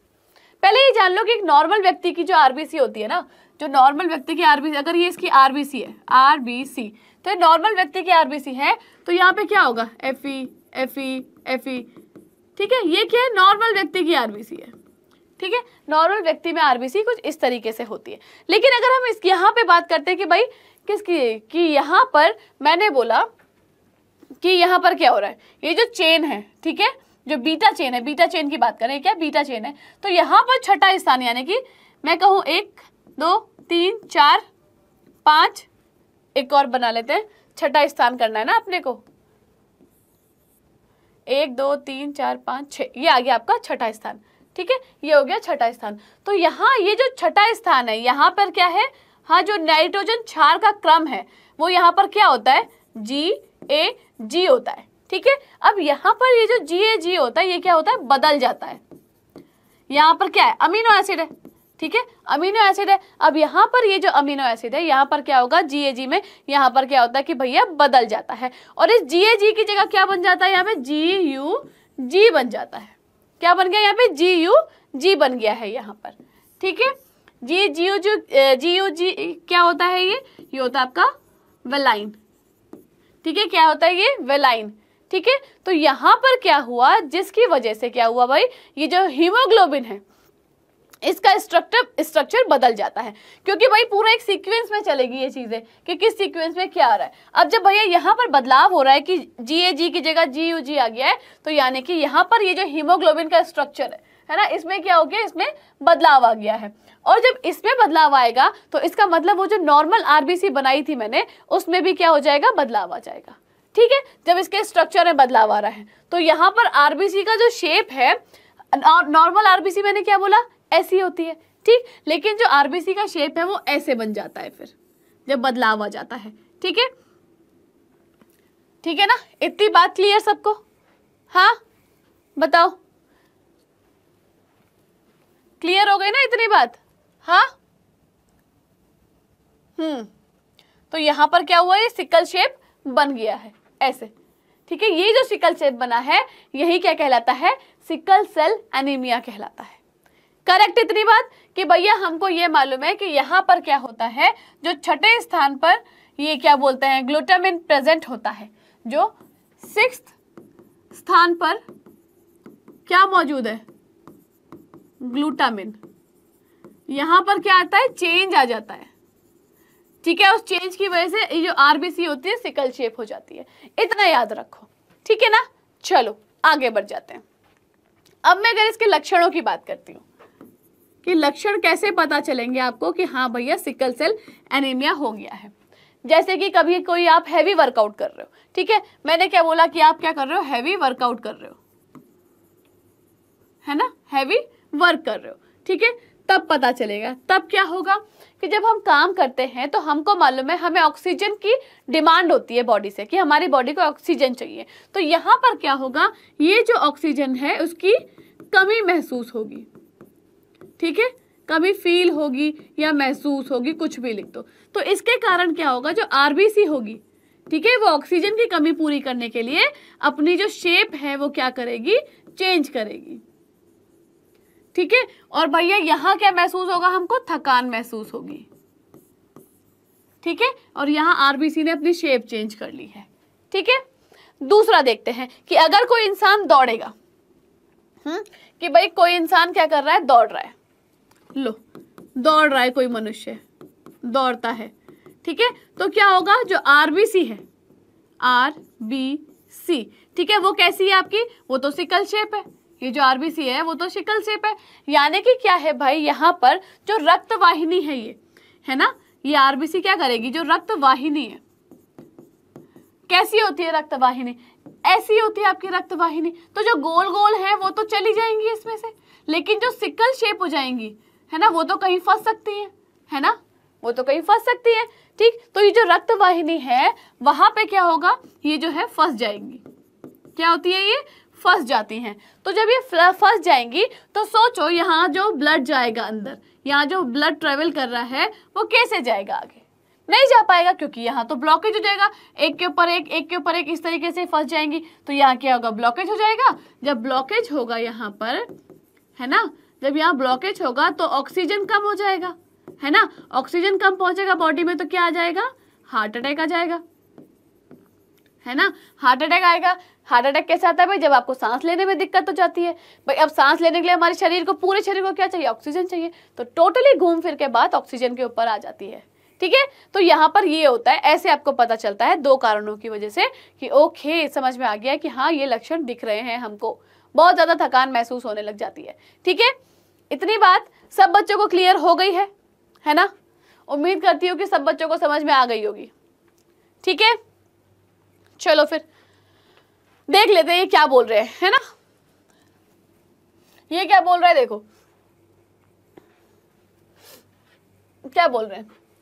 विषम युग्म की A H B H B S व्यक्ति रोग मुक्त होते हैं, परंतु वह रोग के वाहक होते हैं। विषम युग्म की, विषम मतलब क्या होता है? हेट्रो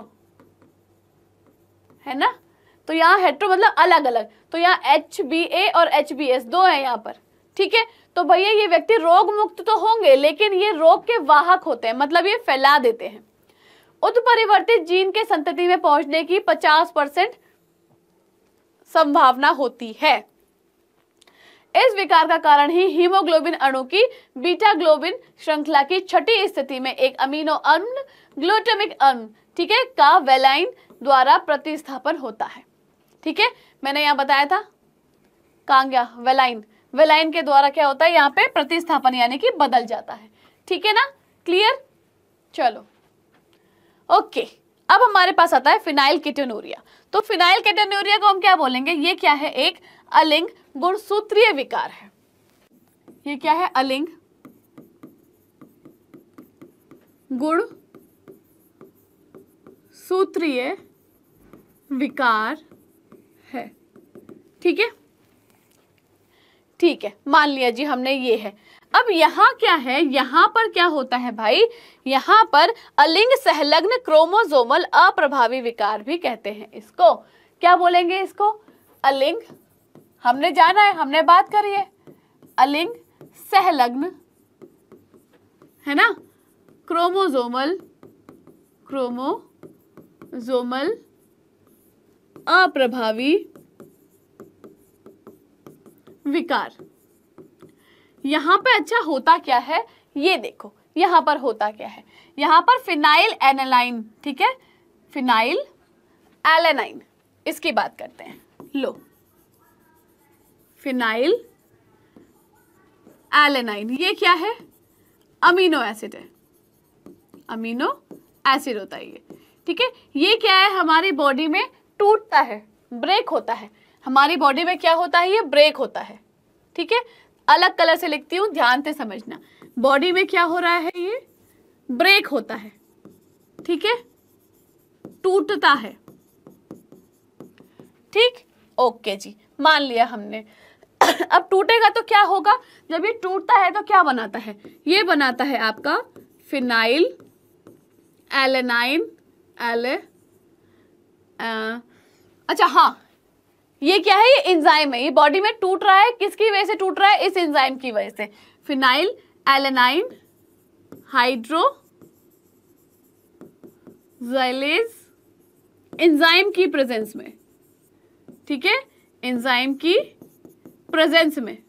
या इसकी उपस्थिति में। उपस्थिति। ठीक है? उपस्थिति में। करेक्ट ठीक है, इस एंजाइम की उपस्थिति में ये क्या हो रहा है? ब्रेक हो रहा है। अब ये ब्रेक हो रहा है, ठीक है? तो ये किसमें चेंज हो रहा है? ये चेंज हो रहा है। चेंज हो रहा है तो किसमें चेंज हो रहा है ये? चेंज होता है ये टायरोसिन में। किसमें चेंज हुआ ये? टायरोसिन में चेंज हुआ, ठीक है? तो भैया लास्ट में क्या बना रहा है? टायरोसिन बना रहा है। क्या बना रहा है? ये फिनाइल एलेनाइन ठीक है? ये बॉडी में ब्रेक हो रहा है। इस एंजाइम की प्रेजेंस में तो ये बदल रहा है टायरोसिन में। अब इसका फ़ायदा क्या है, ये देखो। फ़ायदा क्या है भाई? ये इसके रिलीज़ होने के। आगे देख लेते हैं, चलो। ठीक है? ये जो टायरोसिन है टायरोसिन इसके मैं अगर फ़ायदे की बात करती हूँ, फ़ायदा क्या है भाई? ये डाइजेशन में हेल्प करता है ये। ठीक है? फिर एक मेलानिन पिगमेंट होता है। उसमें हेल्प करता है ये। फिर किसमें किया? हॉर्मोन्स में हेल्प करता है उनको, ठीक है? उसके बाद किसमें करता है? ये किडनी में करता है, ठीक है? यहाँ तक कि जो हमारे मस्तिष्क में मस्तिष्क में काम हो रहा है, कार्य हो रहा है, उसमें भी ये हेल्पफुल है। तो भैया, इतने सारे काम है इसके। इतने सारे काम है, इतनी सारी चीज़ों में ये क्या कर रहा है? हेल्प कर रहा है। ठीक है? चलो, ठीक है, मान लेते हैं। ठीक है? तो इतने सारे काम ये कर रहा है। लेकिन हम इस बीमारी की बात कर रहे हैं, फिनाइल किटेनोरिया। तो सोच के देखो, अगर किसी व्यक्ति में ये बीमारी है, फिनाइल किटेनोरिया, ये बीमारी है तो यहाँ पर ये जो फिनाइल एलेनाइन है, ठीक है? ये जो फिनाइल एलेनाइन हाइड्रोक्सीलेज एंजाइम है, ठीक है? इसको जो बनाने वाला जीन है, ये जो एंजाइम है, इसको बनाने वाला जीन बनाने वाला जो जीन है, ठीक है? यहाँ बनाने वाले जीन में क्या होता है? यहाँ पर म्यूटेशन हो जाता है, विलोपन हो जाता है, ठीक है? क्या हो रहा है? विलोपन बोल दो चाहे इसको। विलोपन बोल दो, म्यूटेशन बोल दो, कुछ भी बोल दो। उसकी वजह से क्या होती है? इस जीन में इसकी वजह से क्या हो रही है? खराबी आ रही है। या गड़बड़ी हो रही है, ठीक है? खराबी आ रही है, या गड़बड़ी हो रही है। तो यहाँ पर ये जो फिनाइल एलेनाइन है, ये नहीं टूटेगा, ठीक है? ये क्या है? नहीं टूटेगा ये, ठीक है? यहाँ लिखू। ठीक है, यहाँ लिख देती हूँ। कि ये जो phenyl phenylalanine hydro hydroxylase enzyme है, ठीक है? ये जो इंजाइम है, इसको बनाने वाला जो जीन है, इसको बनाने वाला बनाने वाला जो जीन है, इसमें क्या हो रहा है? म्यूटेशन हो रहा है। उत्परिवर्तन हो रहा है, विलोपन हो रहा है। ठीक है? तो जब इस जीन में ये सब चीज़ें हो रही हैं तो यहाँ पर ये जो है, यहाँ पर इसकी वजह से क्या होगा? हुँ? हम्म? ये ब्रेक नहीं करेगा, ठीक है? ये फिनाइल एलेनाइन नहीं टूट पाएगा। फिनाइल एलेनाइन टूट नहीं पाएगा। ठीक है? टूट नहीं पाएगा। ये टूट नहीं पाएगा तो भैया दिक्कत हो जाएगी क्यों? क्योंकि फिर टायरोसिन भी नहीं बनेगा। है ना? टायरोसिन भी नहीं बनेगा फिर तो। जब यही नहीं टूटेगा, इसी के टूटने पे तो टायरोसिन बन रहा है। ये भी नहीं टूटेगा तो ये नहीं टूटेगा तो क्या होगा भाई? है? ये नहीं टूटेगा तो क्या होगा? ये जो फिनाइल एलेनाइन है, ठीक है? ये जो फिनाइल एलेनाइन है, ये क्या होगा हमारे मस्तिष्क में? मस्तिष्क में क्या हो जाएगा? जमा हो जाएगा। ठीक है? मस्तिष्क में क्या है? जमा हो जाएगा। और ये जो जमा हो जाएगा, इसके जमा होने से क्या है? मस्तिष्क में दुर्बलता आ जाएगी। क्या होगी? मस्तिष्क में दुर्बलता आएगी।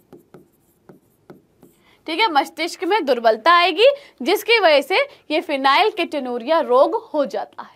जिसकी वजह से फिनाइल केटेनोरिया रोग हो जाता है। अगर मैं इसके लक्षणों की बात करूँ तो लक्षण में हमारे पास क्या आएँगे? लक्षण की बात करते हैं। हाँ तो लक्षण आ गया आपका मानसिक दुर्बलता। मानसिक दुर्बलता। सबसे पहला लक्षण आ जाएगा।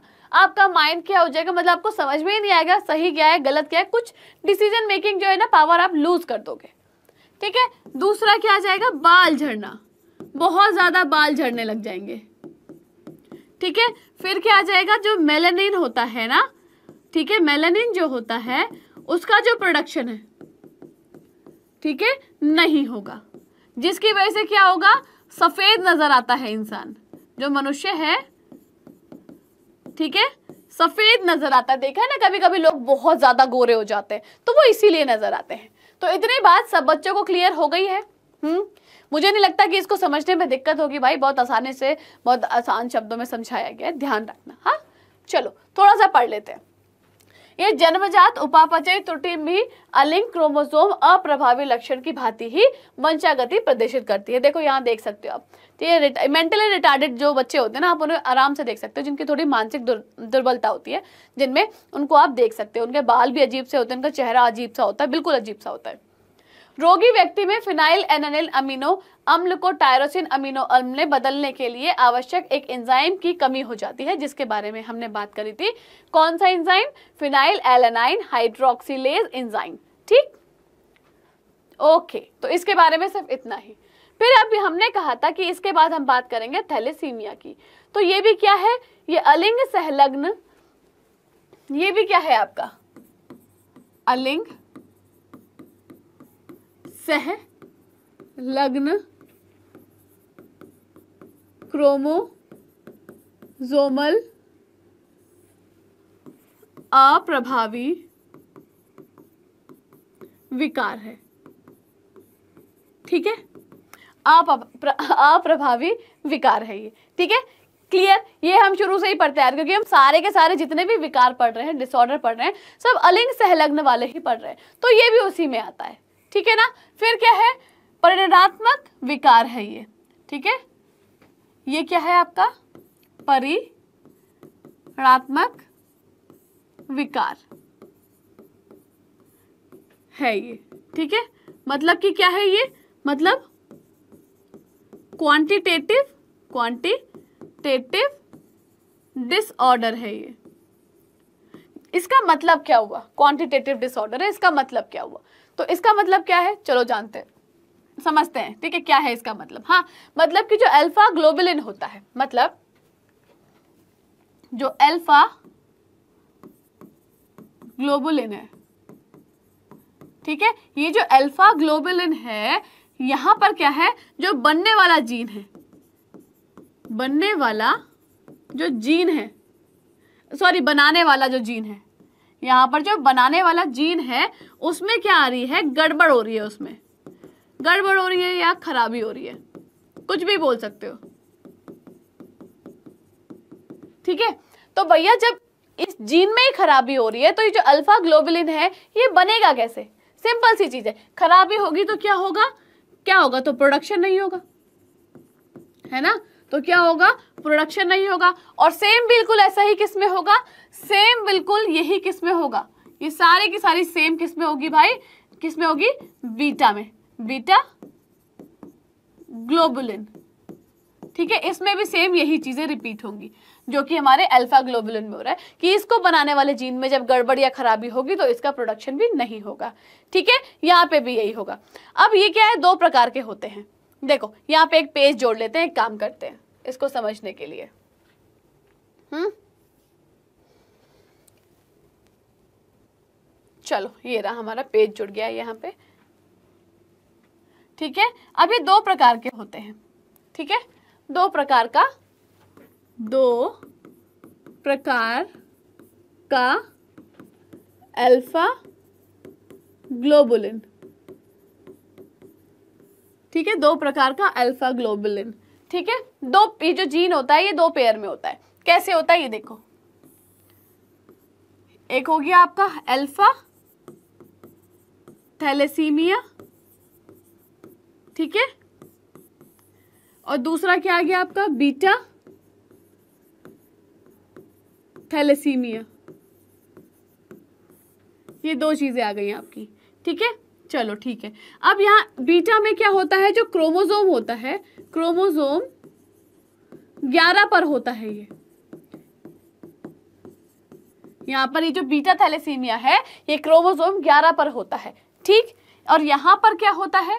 यहाँ पर आपका अल्फ़ा, जो अल्फ़ा, बीटा बीटा ग्लोबुलिन, एक पेयर में होता है।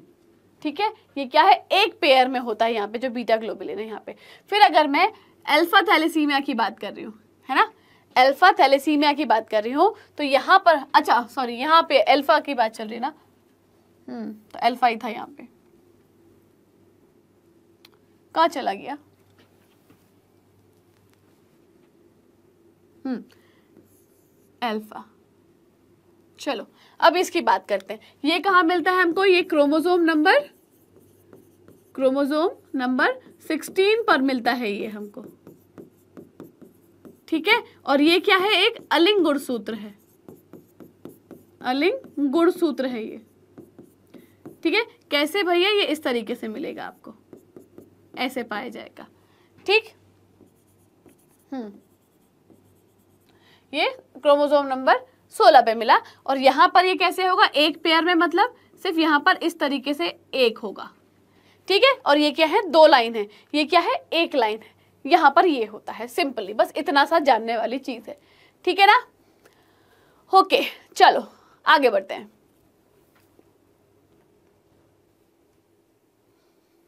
हम्म ये भी एक अलिंग क्रोमोसोम संलग्न अप्रभावी विकार है। ठीक है? हमने क्या बोला? देखो बीटा ग्लोबलिन जीन जो है, उसमें एक ही होता है सिर्फ़, है ना? और ये क्या है? दो हैं, देखो यहाँ पर। ठीक है? चलो, सोलह पे क्रोमोजोम सोलह पे। क्या क्रोमोजोम संलग्न अप्रभावी जीन रक्त विकार है, जो जनकों से संतति को वंशानुगत प्राप्त होता है? ये नहीं कि, यानी कि ये भी क्या है भैया? माता पिता से बच्चों में जा रहा है। जबकि जनक युगल के दोनों सदस्य अप्रभावी जीन के वाहक अथवा विषम युग्म के जीन होने के कारण अप्रभावित है। यह विकार या तो उत्परिवर्तन अथवा विलोपन के परिणाम स्वरूप उत्पन्न होता है, जिससे जिससे क्या हो रहा है? या जिसमें हीमोग्लोबिन जिसमें हीमोग्लोबिन बनाने वाले ग्लोबिलिन की किसी एक श्रृंखला, अल्फ़ा या बीटा की संश्लेषण पर कमी आ जाती है। संश्लेषण दर, यानी उसके बनने में कमी आ जाती है। ठीक है? इतनी बात सब बच्चों को क्लियर है? है ना? चलो वेरी गुड उसके बाद एक छोटा सा टॉपिक है, इसको बस जरा सा है, इतना ही समझना है कि सिस्टिक फाइब्रोसिस हम्म क्या समझेंगे सिस्टिक फाइब्रोसिस को? सिस्टिक फाइब्रोसिस को क्या समझेंगे? हमने बात कर ली है भाई, ये भी क्या है? अलिंग अलिंग सहलग्न क्रोमोजोमल अप्रभावी विकार है। ठीक है? ओके इसमें ये है। पहली चीज़, दूसरा क्या? यहाँ पर क्या होता है जो म्यूकस बनाने वाला जीन होता है? जो म्यूकस बनाने वाला जीन है। देखो म्यूकस क्या है? श्लेष्मा, है ना? क्या है? श्लेष्मा। या श्लेष में बोल दो। बहुत ज़रूरी है ये हमारी बॉडी में ये भी। तो ये जो जीन होता है, इस जीन में क्या हो रहा है? म्यूटेशन हो रहा है। म्यूटेशन बोलो, उत्परिवर्तन बोलो, विलोपन बोलो, कोई दिक्कत नहीं है, ठीक है? तो यहाँ क्या होगा? जब ऐसा होगा तो तो यहाँ पर क्या होगा? तो ये क्या होगा? एक जगह जमा होता है ये। जमा होने लगता है। कौन जमा होने लगता है? ये म्यूकस। ठीक है? ये म्यूकस क्या है? उस एक जगह पे जमा होने लग जाता है। और ऑब्वियस सी बात है, जब जमा होने लग जाएगा तो ये भी क्या करेगा? ये बीमारियाँ फैलाने का काम कर देता है। ठीक है? तो सिस्टिक फाइब्रोसिस में ये होता है। ओके यहाँ पर मेंडेलिय विकार छोड़ो, यहाँ पर हम बात करते हैं अनुवांशिक विकार की। ठीक है, किसकी बात करते हैं? अनुवंशिक विकार की बात करते हैं। तो इस अनुवंशिक विकार में आया था मेंडलीय विकार और दूसरा था क्रोमोजोमल क्या आया था इसमें? मेंडलीय आया था। है ना? और दूसरा क्या आया था? क्रोमोजोमल आया था। ठीक है, या गुणसूत्री बोल दो। कोई फ़र्क नहीं पड़ता, दोनों सेम ही है। क्रोमोजोमल विकार। ठीक है तो यहाँ पर हमने क्या देखा था इनमें? हम्म? जब हमने चर्चा करी थी इनके बारे में, क्या चर्चा करी थी? बताओ। तो भाई, हमने बात करी थी कि मेंडेलीय विकार या फिर इसको हम क्या बोल सकते हैं? जीन विकार। या जीनी विकार बोल सकते हैं। है ना? ये भी बोल सकते हैं। आप बोलोगे, मैम, इंग्लिश में लिख दिया है। मैं भी भूल गई थी कि मैंने ये इंग्लिश में लिख दिया है, पर याद आ गया है मुझे। क्या इसको जीनी विकार बोल सकते हैं? क्योंकि जीन में होता है, ठीक है? या जीन में या डीएनए, है ना? जीन या डीएनए कुछ भी बोल सकते हैं, ठीक है? इसमें होता है क्योंकि ये इसमें क्यों होता है? जब कोई गड़बड़ी हो जाती है या खराबी आ जाती है। खराबी या फिर गड़बड़ी, है ना? डीएनए या जीन में गड़बड़ी आ गई है, खराबी आ जा रही है, तब जाके ये विकार हो रहा था। हमने ये बात करी थी। ठीक है, जो हमने बहुत पहले कवर कर चुके हैं। बात करते हैं क्रोमोजोमल की, ठीक है, यानी गुणसूत्रीय विकार की। तो इसको हमने दूसरा क्या बोला? गुण सूत्रीय विकार।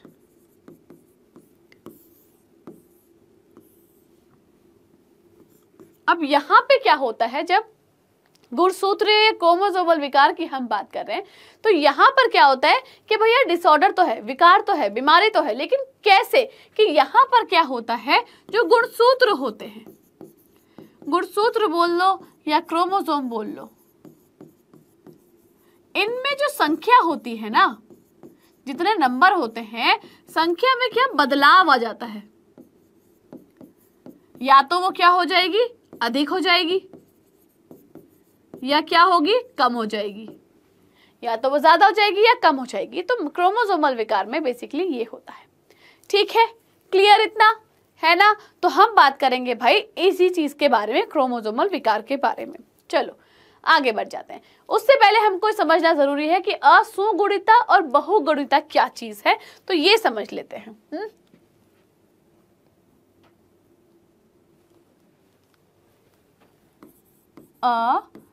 हम्म? असुगुणिता ठीक है? बीच में हम पार्टीशन कर देते हैं। यहाँ लिखेंगे हम बहु गुणिता ठीक है? चलो। अगर मैं असुगुणिता की बात करती हूँ तो इसको हम क्या बोलते हैं? एन्यूप्लॉयडी इसको हमने क्या बोला? एन्यूप्लॉयडी ठीक है? लो जी इसको हमने बोला एन्यूप्लॉयडी फिर बहुगुणिता की बात करते हैं तो इसको हम क्या बोलते हैं? पॉलीप्लॉयडी ठीक है? क्या बोला? पॉलीप्लॉयडी बोला। अब यहाँ पर अगर असुगुणिता की बात कर रहे हैं तो यहाँ पर क्या हो रहा है? यहाँ पर जो क्रोमोजोम है है ना, या गुणसूत्र है, इसमें क्या हो रही है? क्रोमोजोम की या तो कमी हो रही है या फिर अधिकता हो रही है? या तो कमी आ जाएगी या फिर अधिकता आएगी। कैसे आएगी ये जानो। हम्म चलो। मैंने बोला कि मेरे पास ये क्या है? दो क्रोमोजोम्स है, यानी कि टू एन है ये। ठीक है? यहाँ पर क्या होगा अगर एक क्रोमोजोम आके ऐड हो जा रहा है? ठीक है? एक क्रोमोजोम आके ऐड हो जा रहा है तो हमारे पास क्रोमोजोम की संख्या कितनी हो जा रही है? हम्म बताओ। कितनी हो रही है? एक, दो, और ये लाल वाला भी आके यहाँ पे ऐड हो गया है। तो कितनी हो गई है हमारे पास? यहाँ तो दो थी ना, लेकिन एक आगे जुड़ गया है। तो यहाँ कितनी हो गई है? थ्री एन हो जा रही है। यानी कि यहाँ पर एक अधिक है। ठीक है? यहाँ पर एक अधिक है। वही अगर मैं बोलूँ कि एक और एग्ज़ाम्पल लेती हूँ, कि ये हमारे पास दो क्रोमोजोम है, यानी कि क्या है? टू एन है। इसमें से एक क्या हो रहा है? एक माइनस हो गया है। ठीक है? माइनस हो गया है। तो हमारे पास क्या बचा? एक ये बचा, ठीक है? और दूसरा क्या बचा? ज़ीरो। यानी कि हमारे पास सिर्फ़ यहाँ पर एन बचेगा। तो यहाँ पर क्या हो रही है? यहाँ पर कमी आ रही है। ठीक है? यहाँ पर क्या आ गई? कमी आ गई। तो बेसिकली एन्यूप्लॉइडी में यही होता है। ठीक है? इसको इतना समझो, ओके? चलो, अब उधर आ जाते हैं, बहुगुणिता में, ठीक है? बहुगुणिता में क्या होता है? जो पूरा समुच्च होता है, वो अधिक हो जाता है। मतलब बहुत सारे बहुत सारे बहुत सारे ऐड हो जाते हैं। यहाँ क्या हो रहा है? जो पूरा समुच्च है, ठीक है, अधिक हो जाता है। कैसे होता है? देखो, बताती हूँ अभी। कैसे होता है? मैंने क्या बोला? हमारे पास ये टू एन है, दो क्रोमोसोम है। अब इसमें क्या हो रहा है? इसमें ना बहुत सारे बहुत सारे बहुत सारे सोन सोन सोन सोन क्रोमोसोम्स ऐड हो गए, बहुत सारे। नहीं पता कितने सारे। होते जा रहे, होते जा रहे, होते जा रहे। ठीक है? बहुत सारे ऐड हो रहे हैं। ठीक है? तो यहाँ पर ये क्या कहलाएँगे कि भैया हमने क्या बोला यहाँ पर? बहुत सारे बन जाएँगे क्रोमोसोम। बहुत सारे। क्योंकि ये दो तो थे ही हमारे पास, लेकिन यहाँ कितना है? यहाँ तो पता ही नहीं है हमको। यहाँ तो पता ही नहीं है। ऐड होते ही जा रहे, होते ही जा रहे। हम्म? तो इस चक्कर में हो सकता है नौ ऐड हो जाए, दस ऐड हो जाए, ग्यारह हो जाए, पाँच हो जाए, छह हो जाए, कितने भी हो सकते हैं हमको देखो, नहीं पता। अपन इसको इन्फाइनिटी मान के चल रहे कि कुछ भी हो सकता है। नहीं मालूम हमको। ठीक है? तो यहाँ पर क्या है? बहुत सारे ऐड हो रहे हैं, पता ही नहीं चल रहा है कितने ऐड हो गए। तो वो क्या कहलाएगा? बहुगुणिता, बहु मतलब बहुत। ठीक है? हाँ चलो। यहाँ असुगुणिता, अ मतलब एक। या तो एक इसमें ऐड हो जाएगा, या फिर एक इसमें लेस हो जाएगा। ठीक है? ये है बेसिकली तो इतनी बात क्लियर सबको? है ना? चलो, आगे बढ़ते द्यू अर्ध सूत्री आ जाते हैं, है ना? और द्यू द्यू यून सूत्री ठीक है? चलो, हम पहले इन दोनों को अलग कर देते हैं। ये हमारा क्या हो गया? द्वि, अर्ध, सूत्री। ठीक है? ये क्या है?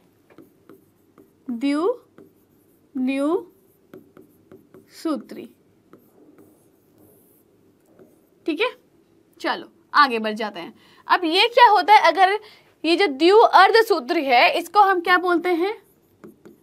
टेट्रासोमी बोलते हैं इसको। क्या बोला? टेट्रासोमी बोला। द्यू न्यू सूत्री की बात करें तो इसको क्या बोलते हैं? नल सोमी ठीक? ओके, मान लेते हैं। अब यहाँ पे क्या होता है? हाँ?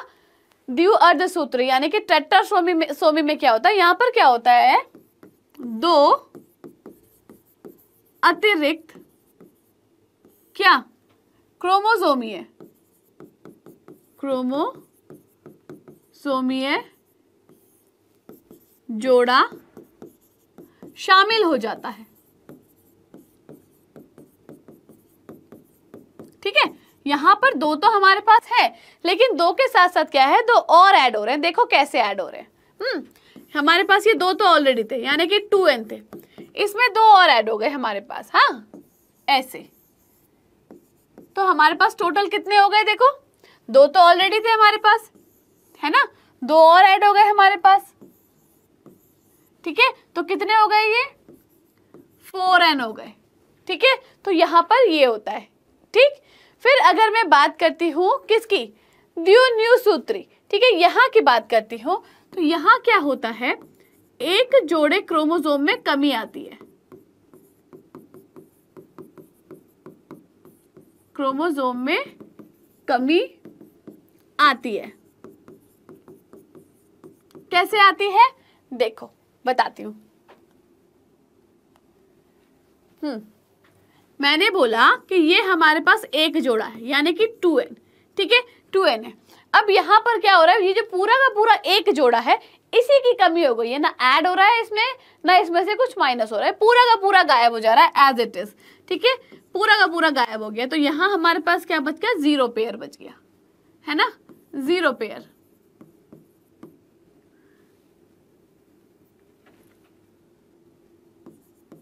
लो, ऐसे लिखती हूँ।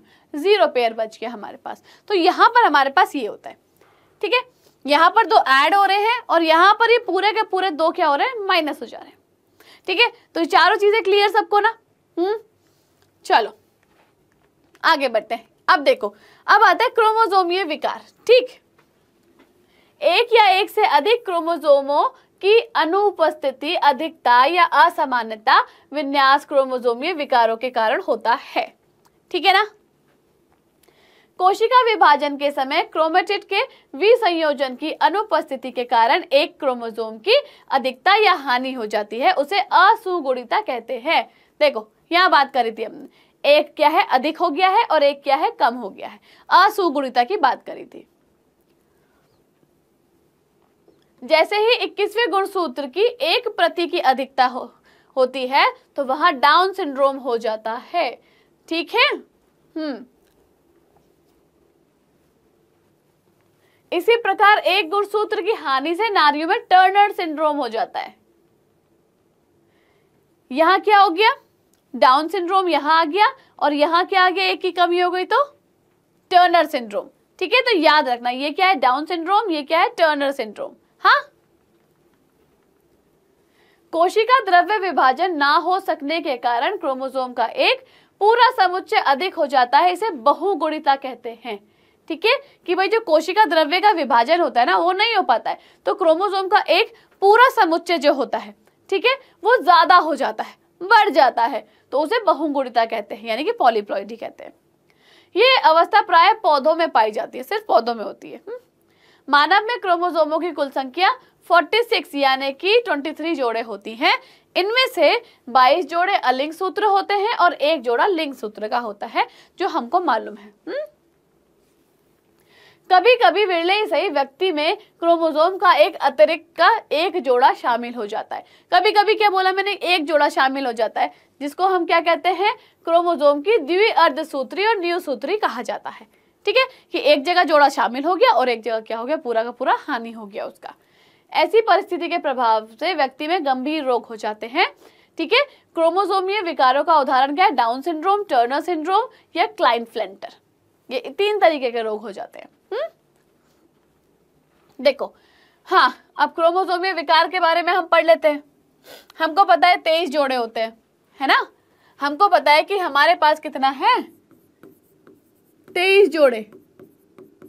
ठीक है? तेईस जोड़े होते हैं। हम्म? यहाँ तेईस जोड़ों में क्या होता है? चलो, देख लेते हैं। तेईस जोड़ों में क्या हो गया? बाईस जोड़े क्या है हमारे पास? बाईस जोड़े अलिंग क्रोमोजोम है। अलिंग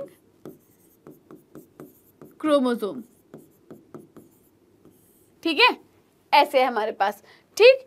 और एक जोड़ा क्या है? लिंक क्रोमोजोम ठीक है ना? अब जो 22 जोड़े हैं, यहाँ क्या है? किसी भी एक में कमी आ रही है या अधिकता हो जा रही है? ठीक है? कि किसी भी एक में, इन 22 जोड़ों में से किसी भी एक में या तो कमी आ रही है या फिर अधिकता। ठीक है? या तो बढ़ रहा है या कमी हो रही है। ठीक है ना? और यहाँ पर क्या हो रहा है? यहाँ पर किसी भी किसी भी प्रकार की अधिकता या कमी। ठीक है ना? किसी भी प्रकार की अधिकता या कमी। अब यहाँ क्या है? विकार का नाम अलिंग क्रोमोजोमीय विकार है। ठीक है? हम जानते हैं विकार का नाम क्या है? यहाँ पर जो होता है, अलिंग क्रोमोजोमीय विकार। क्यों? क्योंकि ये अलिंग के ऊपर है। 22 जोड़े अलिंग है ना? अलिंग के ऊपर है, इसीलिए अलिंग क्रोमोजोमीय विकार है इसका नाम। ठीक है? और इसका नाम क्या है? लिंग क्रोमोजोमीय विकार। क्योंकि ये कहाँ पर है? लिंग क्रोमोजोम पे है, इस वजह से। ठीक है? अगर मैं इनके डिजीजेस की बात करती हूँ मतलब एग्जाम्पल्स की बात करूँ तो यहाँ पर आपका डाउन सिंड्रोम आएगा। डाउन सिंड्रोम ठीक है? और क्या आ गया आपका? हम्म? डाउन सिंड्रोम आ गया। डाउन सिंड्रोम में क्या होता है? डाउन सिंड्रोम में आपका जो इक्कीसवा गुणसूत्र होता है, ठीक है? डाउन सिंड्रोम में जो आपका इक्कीसवा गुणसूत्र है, यही तो बात करी थी अभी हमने। हम्म? जो इक्कीसवा गुणसूत्र है। इस इक्कीसवें गुणसूत्र में क्या हो रहा है? दिक्कत आ जाती है। ठीक है ना? हाँ। चलो, फिर अगर मैं यहाँ बात करती हूँ तो यहाँ हमारे पास क्या आता है? क्लाइन क्या होता है? फ़िल्टर। और दूसरा क्या है आपका? Turner syndrome. ठीक है? टर्नर सिंड्रोम अच्छा यहाँ पे क्या होता है, आपके जो क्रोमोजोम की संख्या है ना, वो 47 होती है। याद रखना, ठीक है? 47 आ जाती है, जो गुणसूत्र की संख्या है। 47 हम्म? वैसे 46 होती है, पर यहाँ पे जुड़ जाता है एक तो कितना आ गया? 47 चलो, इतना ठीक है। थोड़ा समझ लेते हैं डाउन सिंड्रोम को, है ना? क्या समझते हैं? अनुवंशिक विकार का कारण 21वें क्रोमोसोम की एक अतिरिक्त प्रति का आ जाना, यानी कि 21वें गुणसूत्र पे, ठीक है? कि वहाँ क्या हो रहा है? 21वां गुणसूत्र है ना? उस पे प्लस वन हो जा रहा है। एक उस पे आगे प्लस हो जा रहा है। दो होते हैं वहाँ पर प्लस हो गया। तो यहाँ तीन आ जाते हैं, इक्कीसवें गुणसूत्र पर। ठीक है? इस विकार को सर्वप्रथम लैंगडम डाउन ने 1866 में खोजा था। रोगी व्यक्ति छोटे कद और छोटे गोल सिर का होता है, जीभ में खांच होता है मुँह आंशिक रूप से खुला रहता है। चौड़ी हथेली में अभिलक्षणिक पल्म कीज होती है। शारीरिक मन प्रेरक और मानसिक विकार अवरुद्ध रहता है। ठीक? देखो, इस तरीके से दिखाई देते हैं ये बच्चे। जिनको क्या होता है? डाउन सिंड्रोम होता है। ठीक है? डाउन सिंड्रोम वाले बच्चे ऐसे होते हैं। ओके, अब आता है लिंग गुणसूत्रीय विकार। ठीक है? अब इसको समझते हैं। कि भाई हमने कहा एक मेल है, एक फीमेल है। ठीक? हमने कहा कि भैया कौन है? एक मेल एक फीमेल है। ये रहा आपका मेल ठीक है? और ये रही आपकी फीमेल अब इन दोनों की क्या है? शादी कराई। तो मेल के पास पता है मैं एक्स वाई होता है। ठीक? और फीमेल के पास क्या होता है? एक्स एक्स होता है। ठीक है ना? इन दोनों की क्या करा दी हमने? चलो शादी करवा दी। अब शादी करा दी तो चलो इसको युग्मक बनाते हैं, क्योंकि भाई आगे संतति भी होनी है इनकी। है ना? तो युग्मक बने तो क्या बने? युग्मक बने तो ये एक्स बन गया, ये वाई बन गया। इसके पास दोनों क्या आए? इसके पास तो एक्स ही थे तो एक्स ही बनेगा, है ना? यही बनेगा बिल्कुल, ठीक है? अब हमने क्या बोला कि चलो पुनेट स्क्वायर से एक बार इसका क्या बना के देख लेते हैं। ये लो, ये पुनेट स्क्वायर आ गया। लो हाँ? अच्छा एक मिनट, रुको रुको रुको रुको। हम्म तो यहाँ पर हमने क्या बोला कि यहाँ जो युग्मक बने, ये युग्मक क्या थे? सामान्य थे। ये जो युग्मक बने हैं, ये क्या है? सामान्य है। यानी कि नॉर्मल है। इनमें कोई दिक्कत नहीं है। ठीक? अब यहाँ पे क्या हो रहा है कि जब ये बन गए हैं तो यहाँ पर हमने क्या बोला? लिंग गुणसूत्र विकार की बात हो रही है। ठीक? कि भैया जो एक्स वाई है, ये दोनों क्या है? ये तो नॉर्मल है। है ना? लेकिन हम जब बात यहाँ गुणसूत्रीय विकार की कर रहे हैं, लिंग गुणसूत्रीय विकार की कर रहे हैं तो यहाँ पर जो एक्स है, ठीक है? मेल में फीमेल में जो एक्स है, वो क्या है? आनुवंशिक तरीके से वहाँ पे विकार हो रहा है। है ना? हमको ये मालूम है कि यहाँ पर क्या है? आनुवंशिक तरीके से विकार है, यानी कि यहाँ पर क्या हो गया आपका फीमेल में?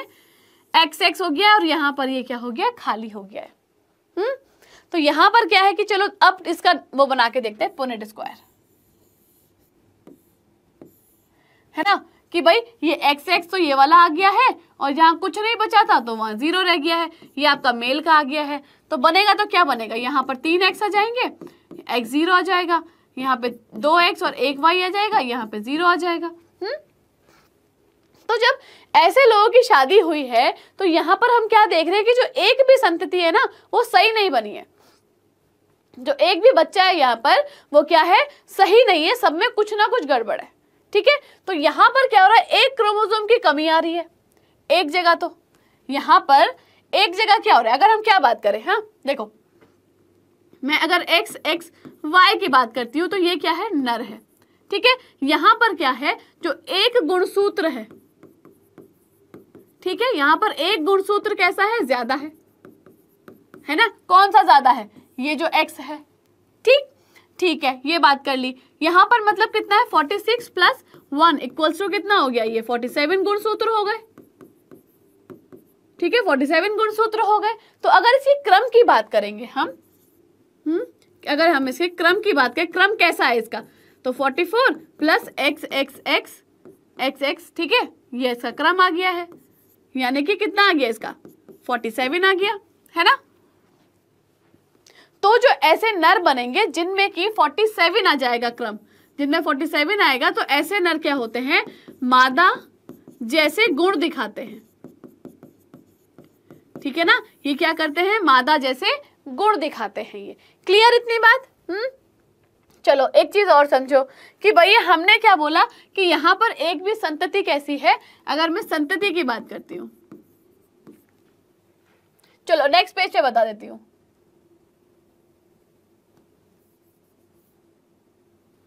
लो तो मैंने क्या बोला? यहाँ पर जो संतति है, वो एक भी क्या है? सही नहीं है। एक भी सही नहीं है।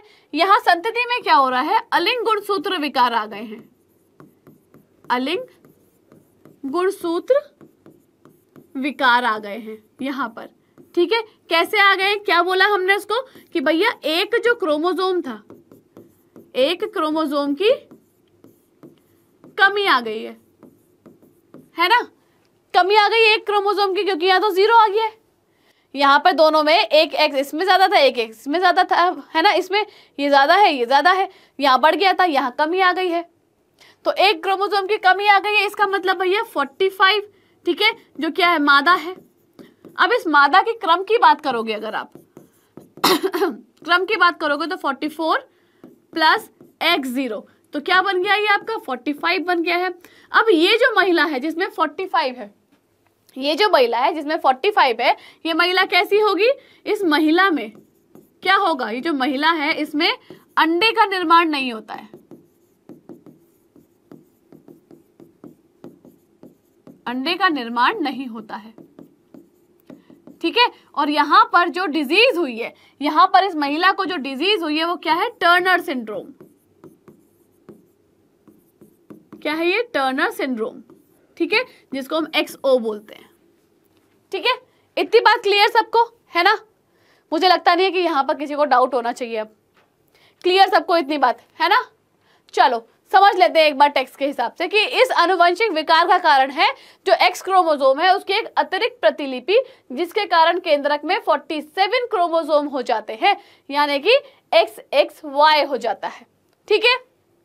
ऐसे व्यक्ति समग्र रूप से तो पुंग प्रंधन होते हैं, किंतु मादा लक्षण भी व्यक्त हो जाते हैं। ऐसे व्यक्ति बांझ होते हैं, उनमें बच्चे नहीं हो पाते हैं, ठीक है? देखो, इक्कीसवें गुणसूत्र यहाँ देखो, यहाँ इक्कीसवें कह रही हूँ, यहाँ देखो, यहाँ क्या हो रहा है? एक एक्स बढ़ गया है यहाँ पर, है ना? तेईसवें गुणसूत्र पे हो रहा है। ये क्या हमारा तेईसवा है ना? हाँ चलो। टर्नर सिंड्रोम देखते हैं।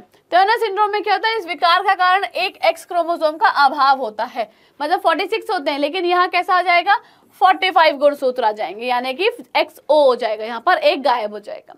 ऐसी नारी बांझ होती है, क्योंकि हमने बोला इसमें अंडे का निर्माण नहीं होता है, क्योंकि अंडाशय अल्पवर्धित होते हैं मतलब कि वो डेवलप नहीं होते हैं, ठीक है? और द्वितीय लैंगिक जो लक्षण होते हैं, वो भी शो नहीं होते हैं।